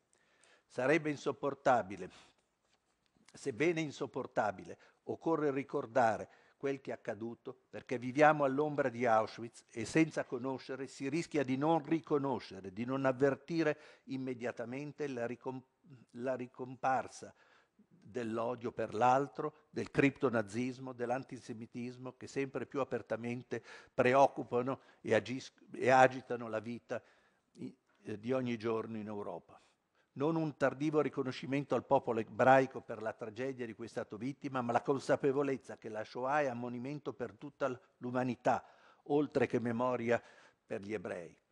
La cancellazione delle tracce dello sterminio rischiano di fare trascurare i sintomi premonitori di altri stermini. L'indifferenza, come abbiamo già sentito, da parte di noi cittadini europei nei confronti delle centinaia di migliaia di persone che fuggono dai loro paesi in guerra o colpiti dalla carestia e dal terrorismo e cercano rifugio nei nostri paesi è colpevole e ricorda il comportamento tenuto nei confronti degli ebrei, dei perseguitati per motivi razziali o politici del secolo scorso. Forse ancora non lo avvertiamo, ma i morti nel flusso migratorio che sta svolgendo il nostro mare suona come una terribile accusa per la nostra Europa che non ha saputo e non intendere intervenire per tempo con soluzioni applicabili alla risoluzione di questo problema. Nel 2016 nel Giardino di Giusti di Milano è stato posto un cippo per ricordare l'eroismo della Guardia Costiera italiana.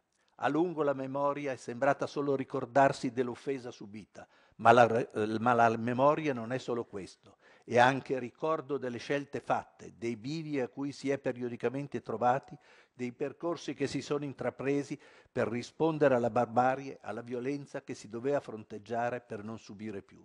In questo caso, memoria è sottolineare la capacità che ha accompagnato la scelta della libertà, dando forma e vita a un progetto di e per il futuro, l'esatto opposto del destino, come ha ben sottolineato lo storico sociale delle idee David Bidussa.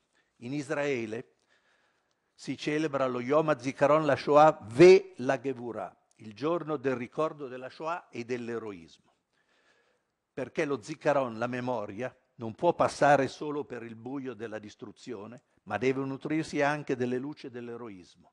L'eroismo di chi impastava le, le mazzot, i pani azimi della nostra Pasqua in un ghetto polacco del 43, l'eroismo di chi accendeva pubblicamente la Hanukkiah, oppure l'eroismo dei ribelli dei ghetti, l'eroismo dei giusti delle nazioni, gli oltre 26.000 uomini e donne che danno senso alla parola umanità, perché il binario di una memoria che non educa alla fiducia nell'umanità è un binario morto, un binario celebrativo e non educativo, un binario pericoloso che non insegna ma nutre di revanchismo e peggio ancora di pietismo.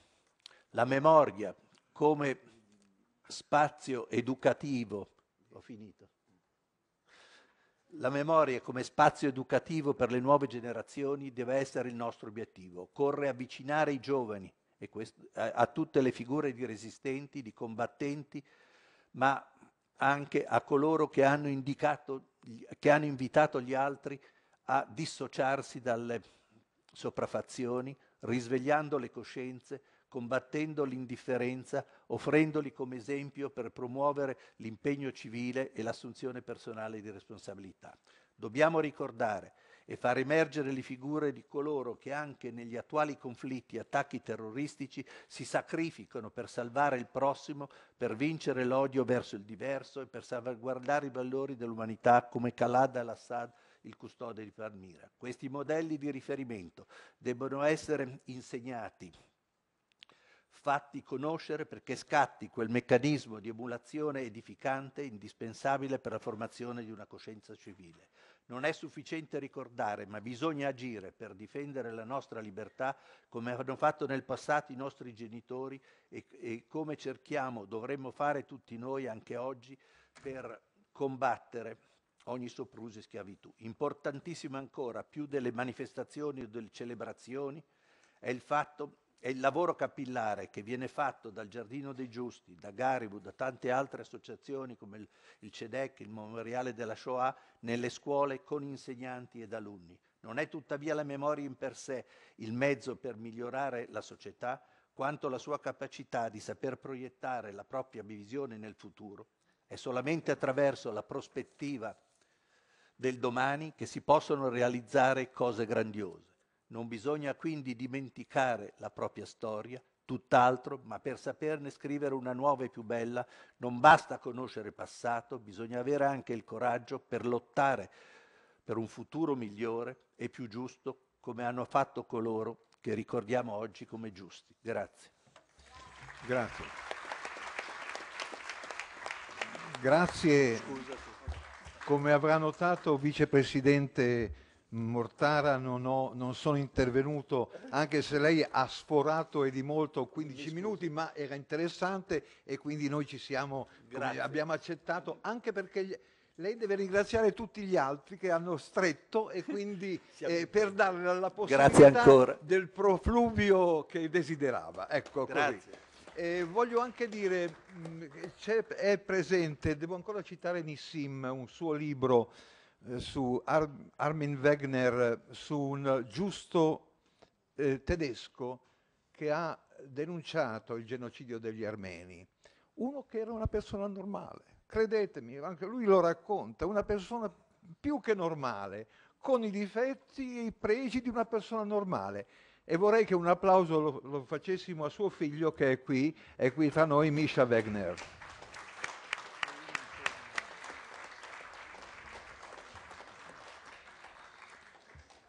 Do la parola a Françoise Canchindi, cara amica del Ruanda, e presidentessa della eh, Bene Ruanda si chiama la fondazione, io ho avuto anche il, il, privilegio di ospitarla negli uffici del Corriere per un'intervista sul Corriere TV, è una persona straordinaria. Fatele un applauso intanto per cominciare. Una donna ha aperto e un'altra donna chiude questa nostra manifestazione. Poi voglio dire ancora due cose e dare ancora la parola a un paio di persone rapide rapide. buongiorno, buonasera oppure buon pomeriggio a tutti. Ho ascoltato attentamente gli interventi che mi hanno preceduto, no? e in particolare mi ricordo mh, l'indignazione di Gabriele su quello che è stato scritto sul Corriere, no? che la Shoah è storia. Allora, il Ruanda, che cos'è se la Shoah è storia?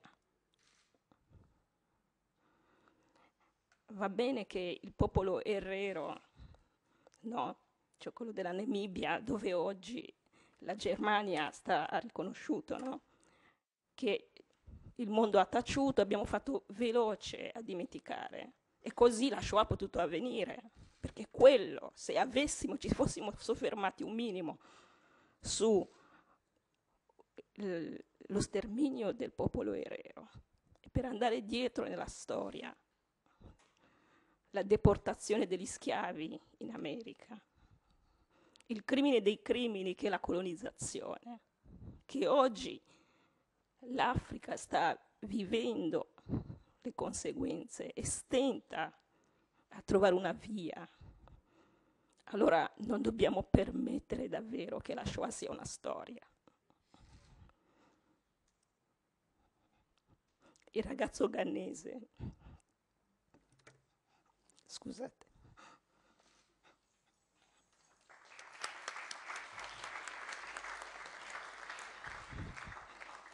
io mi sento quel ragazzo, sono quel ragazzo. Davanti a voi, perché nel 59 mio padre ha rischiato di essere sterminato nel primo genocidio dei Tutsi, che non è stato ricordato, ma è riconosciuto. Allora se abbiamo dei momenti per ricordare chi viene sterminato per il fatto di essere quello che è, come durante la Shoah, non dobbiamo arretrare di una virgola per farlo. Non ci dobbiamo assolutamente vergognare di celebrare la memoria. Perché malgrado tutto ciò, comunque avvengono i fatti ancora assurdi per i quali Lemkin ha ottenuto la Convenzione del 48.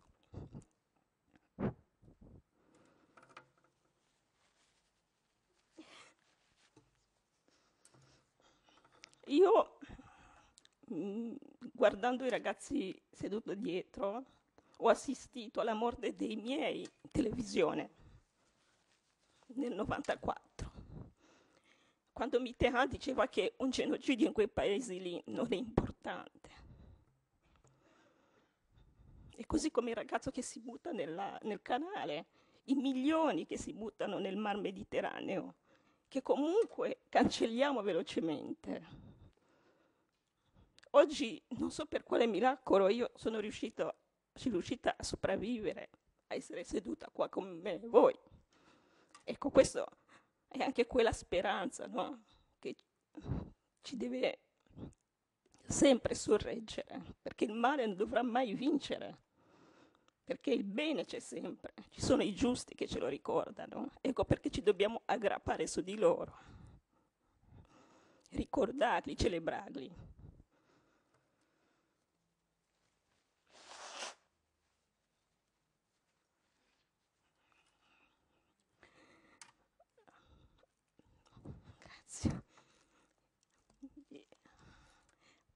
Molti, forse molti ebrei o armeni mi capiranno perché essere eredi di un genocidio è veramente la cosa più difficile da gestire, perché il dolore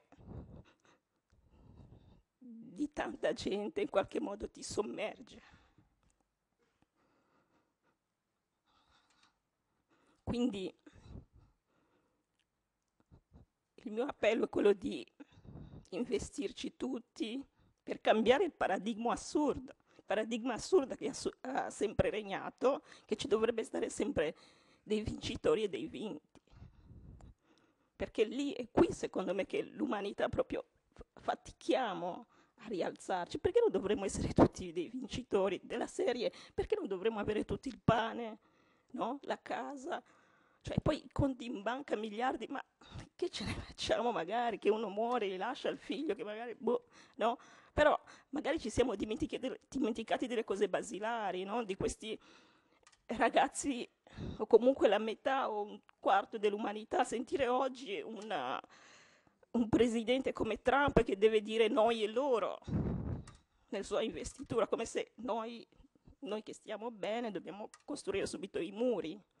Io vorrei saltare subito dall'altra parte di quel muro se fossi un americano, perché non è possibile. Cioè, è troppo facile, come di, diceva, scriveva Levi, sederci tutti al caldo delle nostre case. Cioè, non ha merito. Almeno mi sento così. Lo vorrei tanto raccontare a mio figlio con fatica che è nato qua a Roma e, e gli vorrei tanto passare quella sofferenza che l'essere profughi, essere nata profugo in Burundi, in un paese piccolo, che eh, mi ha spinto a non crearmi dei muri, dei, para, dei paraocchi, mi ha obbligato a dover riflettere e cercare, cercare di lottare per un mondo più giusto che vedo oggi no? tra i PS3, i PS4, le, i giochi, i videogiochi, ragazzi i giovani mi capiscono, che è, è, è il suo interesse, perché anche cioè, quello che ci viene dato come mezzi di formazione, come mezzi per prepararci a quello che ci sta attorno, è veramente di una limitatezza assurda, no? Un giovane di oggi potersi fare veramente una, una, una propria personalità, avere l'ammirazione verso la, l'impegno, verso il, eh, l'austerità o comunque la tenerezza verso chi è meno fortunato. È, è difficile, mi rendo conto, no? Cioè, quando faccio fatica nel parlare con mio figlio, portarlo in Ruanda dove ha paura di ritrovarsi magari no, eh, dall'altra parte, allora ecco che cioè, dovremmo veramente di nuovo e con forza cercare questi giusti, perché per il Ruanda è ancora più vitale di quello che potete pensare, perché soltanto tramite i giusti gli Hutu che hanno massacrato i loro vicini, le loro, loro famiglie, eh, le famiglie eh, dei, delle loro mogli, eh, eccetera, e che uccidevano anche i loro amici Hutu che si rifiutavano di uccidere i Tutsi, e quindi durante il genocidio di Ruanda i giusti erano, erano dei, delle carogne per il regime che aveva organizzato il tutto, così come eh, il, gli, evidentemente eh, i,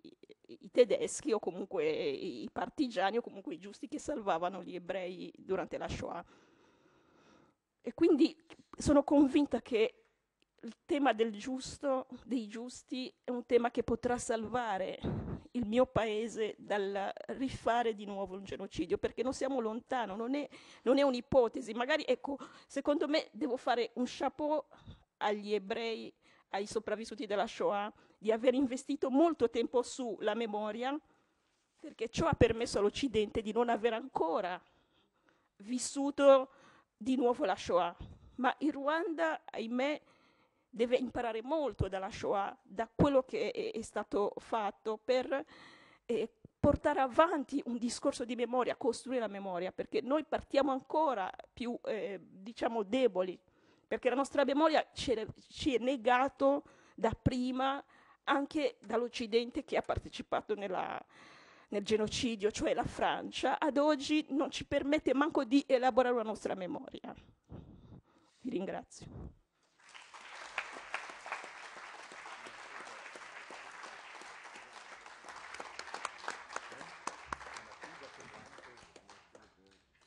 Devo dire che al solito François Canchindi sa toccare il cuore di chi ascolta, come tutti gli altri interventi. Devo, devo dire, mi piace, mi è piaciuto oggi questo nostro incontro. Voglio dire una cosa con molta franchezza. Sia Gabriele che Françoise hanno citato il Corriere della Sera, il mio giornale. Un giornale che io amo molto, sono al Corriere della Sera da tanti anni. Ho visto di cotte e di crude, però il legame con il Corriere è un legame, è un amore. L'ho sempre detto persino a mia moglie, ho detto, sai, prima di te viene il Corriere, eh, cioè, cosa devo fare? È così. Ma il Corriere è un giornale particolare. L'articolo che ha scritto Ernesto Gali della Loggia non lo condivido neanche in una parola, però rispetto la sua bravura, rispetto il suo modo anche provocatorio, ma lui dice delle cose che io non condivido. E io scrivo il contrario e se posso sostengo il contrario fino a quando non me lo impediranno. Se me lo dovessero impedire vorrebbe dire che il Corriere non è più il Corriere, ma visto che il Corriere sopravviverà anche alle cose mh, incomprensibili o ingiuste qualche volta, beh, viva la pluralità. Volevo chiudere chiedendo così a, un, a una persona, se, voi volete dire qualcosa siamo qui a, a, a rispondere, loro naturalmente. Eh, volevo citare Pietro Cucciucchiana, ha scritto un libro molto interessante, io trovo, un libro sui giusti ottomani. Allora, i turchi che hanno salvato degli armeni. E questo è un bel segnale.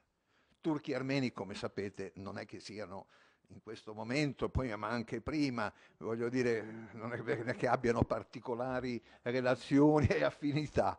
Però, ecco, il fatto che ci siano stati dei turchi ottomani che hanno impedito crimini contro gli armeni, e io credo che anche la famiglia del, del console Kuchukian abbia avuto questa esperienza. Pietro, se vuoi dire qualche parola ti sarei grato. Eh, visto che funzionano così bene gli altoparlanti, posso parlare di qua? Prima di tutto non ho molto da aggiungere a quello che ha detto la mia ambasciatrice che ha fatto un magnifico intervento. Eh, vorrei solo dire che dalla memoria del genocidio degli armeni alla Shoah, ai giusti del nostro tempo, una via per raccogliere tante forze a sostegno dell'approvazione della legge la memoria dei giusti dell'umanità. È una via questa. Grande convinzione e tanta passione hanno animato il lavoro di Milena Santerini e dell'onorevole Fiano. Diceva Elie Wiesel, sanare la terribile frattura tra i vivi e i morti. Ecco, Françoise, mi viene in mente quello che ha detto anche Françoise è per gli esseri viventi che scrivo e al tempo stesso per riconciliarli con i morti. E noi vivi non vogliamo ricadere nell'indifferenza o nell'omissione, i due mali del Novecento. A noi spetta il compito della memoria, una memoria che interroga il presente e la nostra relazione con l'altro, una memoria che tutela il futuro. I giusti sanano la frattura, ci riconciliano. Lo sguardo può rivolgersi al futuro perché la memoria è il futuro. E ho intitolato proprio così il comitato sorto del 1995, Memoria e il futuro, con il patrocinio dei presidenti delle corti costituzionali in Italia e in Armenia, Giuliano Vassalli e Gaghi Garutunian. E questo è anche il significato del muro della memoria dei giusti del memoriale di Zizernaka aperta a Yerevan. L'amico Nissin con cui abbiamo fondato 15 anni fa Garivò ha seguito il mio, il mio impegno di onorare i giusti in Armenia e lo ringrazio. Tra il 2011 e il 2012 ho presentato al Ministero della Diaspora della Repubblica d'Armenia la proposta per istituire la legge sui giusti, che è stata riformulata come giornata della riconoscenza il cui iter oggi sembra un po' rallentato. Comunque coltivo un sogno che l'Italia e l'Armenia, magari quest'anno o l'anno prossimo, giungano insieme all'approvazione di questa legge. Non posso limitarmi a esprimere oggi un semplice sostegno a questa proposta, perché la ricerca delle figure esemplari dei giusti del passato e del presente continua ad essere uno degli elementi del percorso che mi ha portato dal male al bene e che mi ha impedito di essere travolto dall'orrore e anche di considerare un popolo per intero nemico. Ho potuto dialogare anche con gli eredi dei responsabili del genocidio negato. Coltivo la speranza di un risarcimento morale non lontano. La mia adesione convinta a questa proposta di legge, ovviamente, oggi non c'è altra strada. I segni del male risorgono ovunque e giusti sono ancora necessari e sappiamo che sono in mezzo a noi. Quest'anno alla cerimonia del 6 marzo a Milano inaugureremo una giusta turca, Pinar Selek, una giusta del nostro tempo. Grazie. Grazie Console. Ecco, io, visto che abbiamo ancora qualche minuto, se um, ci fossero due o tre interventi, io pensavo anche ai giovani, qualcuno dei giovani che abbia voglia, così, un po' di coraggio ragazzi. E, abbiamo, ci siamo rivolti, si sono rivolti soprattutto a, a voi. Se qualcuno vuol fare una, una, domanda o anche qualcun altro, io ho pensato prima ai giovani perché mi piacerebbe tanto sentirne uno. E, e poi qualcun altro. Prego. Posso fare una domanda? Do, domanda breve, con, con, risposta breve e a chi vuole eh, rivolgere la Un domanda. Un po' a tutti. Eh, vabbè, parlo senza uguale, tanto non... No, no, no, no. Lo uso? Ok. Eh, voi da, insomma, fino adesso avete parlato di persona normale, ma la domanda è cos'è normale? Cioè, quello che mi chiedo io, perché voi adesso, cioè, fino adesso parlate di normalità, ma cos'è normale? Chi vuole rispondere? Gabriele? Prego. Ah, prego. Prima cosa perché mi sento anche giovane io, quindi è come se fossi uno dei giovani, me lo concedete per favore. Eh, normale dovrebbe essere quello che ha cultura. Questa parola oggi non l'ho sentita una sola volta. Cosa intendo? Cultura è quando un bambino da piccolo viene crescendo a comprendere che per vivere bisogna ragionare. Ragionare significa domandarsi quello che ti succede intorno, che cosa sta succedendo, perché sta succedendo. Se io ascolto qualcuno alla televisione o alla radio che mi racconta qualche cosa e io non ho la capacità di domandarmi, ma quel personaggio, dietro a quello che sta dicendo, perché lo dice, che cosa persegue? Una persona normale è una persona capace di ragionare in proprio e di non farsi dire dagli altri quello che deve pensare, cosa deve fare, cosa non deve fare. In questo momento storico noi stiamo vivendo in un periodo dove i normali sembra che non ci sono più. La gente non ragiona, si fa influenzare in un modo incredibile. E questo mi, fa, mi ha fatto ricordare oggi una cosa che mi, dite, mi disse una volta un prefetto. Mi disse, vede, si era parlato, allora ancora non si sapeva di mio padre, per cui non c'era nessun motivo per cui uscisse questa cosa in, fuori in quel modo. Lui mi disse, vede, il mondo è fatto in un modo. Gli stupidi sono quelli che creano i grandi disastri. Hitler era intelligente, per certe cose sicuramente, ma storicamente e dal punto di evoluzione dell'umanità era uno stupido. E mi permetto di dirlo anche di Mussolini.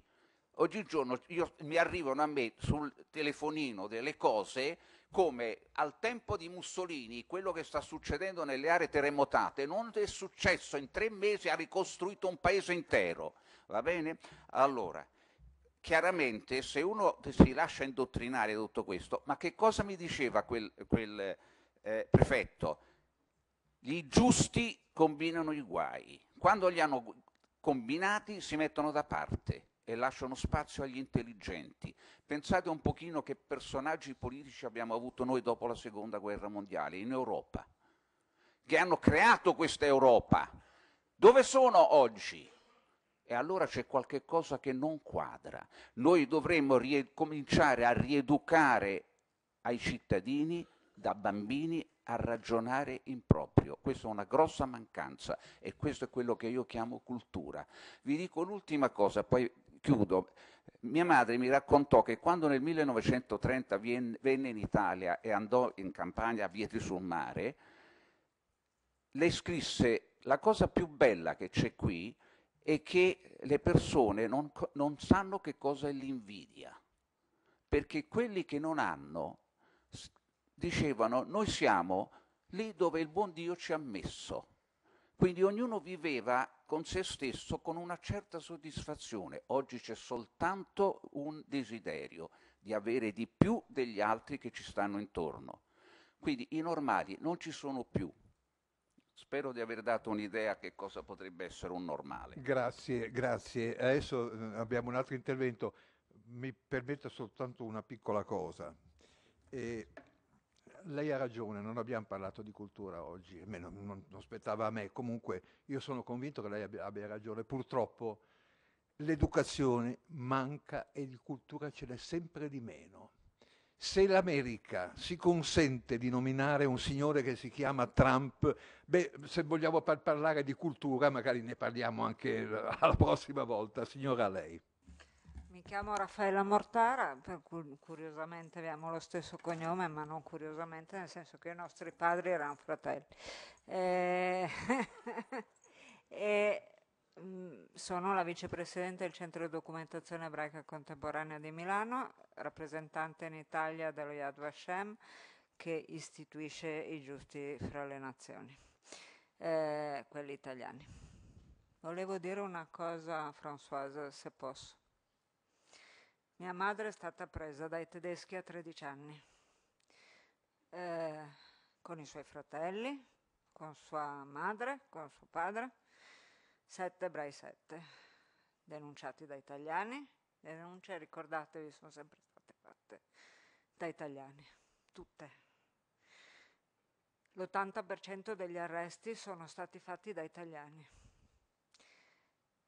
Eh, io sono qua, sono salva, sono viva grazie a una marea di giusti, a una quantità di giusti. E ho fra le mani la candela della memoria di mia madre, che nel CEDEC prima di me è stata presidente. E questo con orgoglio devi fare tu, se posso darti del tu, eh, con tua figlia o con tuo figlio, e passargli e trasmettergli il ringraziamento per tutti i giusti che ci hanno aiutato giorno per giorno a sopravvivere ai nostri genitori e quindi a nascere a noi. Questo vale anche per Giorgio. Un, un, un bel applauso lo merita, direi. Ancora uno? Così concludiamo eh, in bellezza perché mi sembra che così sia stata una cosa veramente straordinaria oggi. Io sono molto contento, se mi consentite. Eh, di Uvar- il giovane che chiedeva della, della la persona normale che può essere, e, e che dietro i giusti ci sono delle persone veramente che magari non sono eroi, non lo, sapevo, ma no- non lo sapevano di solito manco loro che son- possono essere, possono avere da- la forza di opporsi a un male. Ecco, la maggior parte dei giusti sono queste persone, sono persone proprio, cioè la normalità è, quella, è, è quel non sapere ma qual- quale- quanta forza magari hai dentro per poter magari cambiare la storia. Ecco. grazie Françoise. Anna Maria?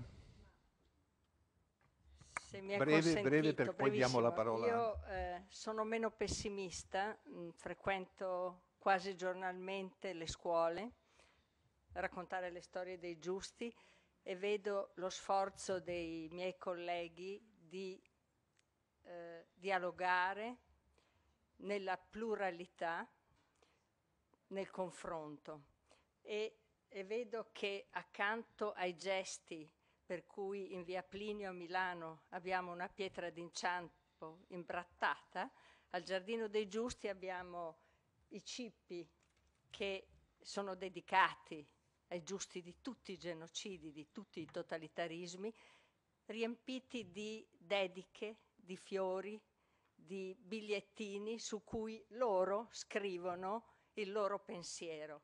Allora il- la persona normale è quella persona che cresce con gli stimoli che avete voi intorno, che riusciranno a farvi diventare persone consapevoli, autonome e queste saranno le vostre scelte, capaci in un certo momento di fare la scelta che vi detta la vostra coscienza, tutto quello che avete accumulato. E io li vedo già perché mi chiedono, ma prof, ma a Sophie Scholl chi l'ha dato il coraggio?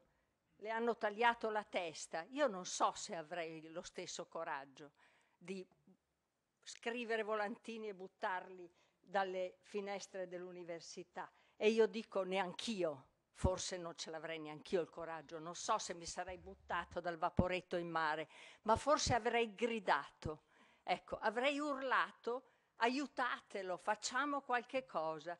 Una piccola cosa si può fare. Ecco, quel lavoro che fate voi adesso seriamente con i vostri insegnanti, con tutti gli stimoli che avete intorno, vi daranno la possibilità un giorno di tirar fuori la voce, almeno gridare e impedire che ci siano delle persone e coprire la voce, perché purtroppo erano voci italiane, e lo devo dire all'Antonio, che parlavano dialetto veneziano e che insultavano. Ecco, coprire la voce dell'insulto, la volgarità dell'insulto sarà coperta dalla loro voce e lo sapranno fare, secondo me. Lei, lei vuole intervenire? Ho visto il microfono acceso, no? Lei? Ho visto il microfono acceso, va bene. Allora, c'è ancora un... eh, Chi? Chi vuole? Eh, se si allarga il cuore se vengono dei giovani a parlare. Forza, forza. Se, se posso fare un intervento, dopo aver ascoltato, ovviamente, di essermi bevuto tutte le parole, tutte le vostre parole durante questo incontro, io penso che la, la mancanza, come dite voi, di persone normali, ovvero anche più che persone capaci di, pens- di pensiero autonomo, anche quello, eh, ma persone... Io penso che una persona normale sia una persona capace di provare empatia, ovvero di riconoscersi e immedesimarsi nella, situa- nella situazione, nella condizione di un altro, senza, senza guardare la sua condizione economica, sociale, politica, la sua, la sua idea politica, la sua religione, la sua provenienza.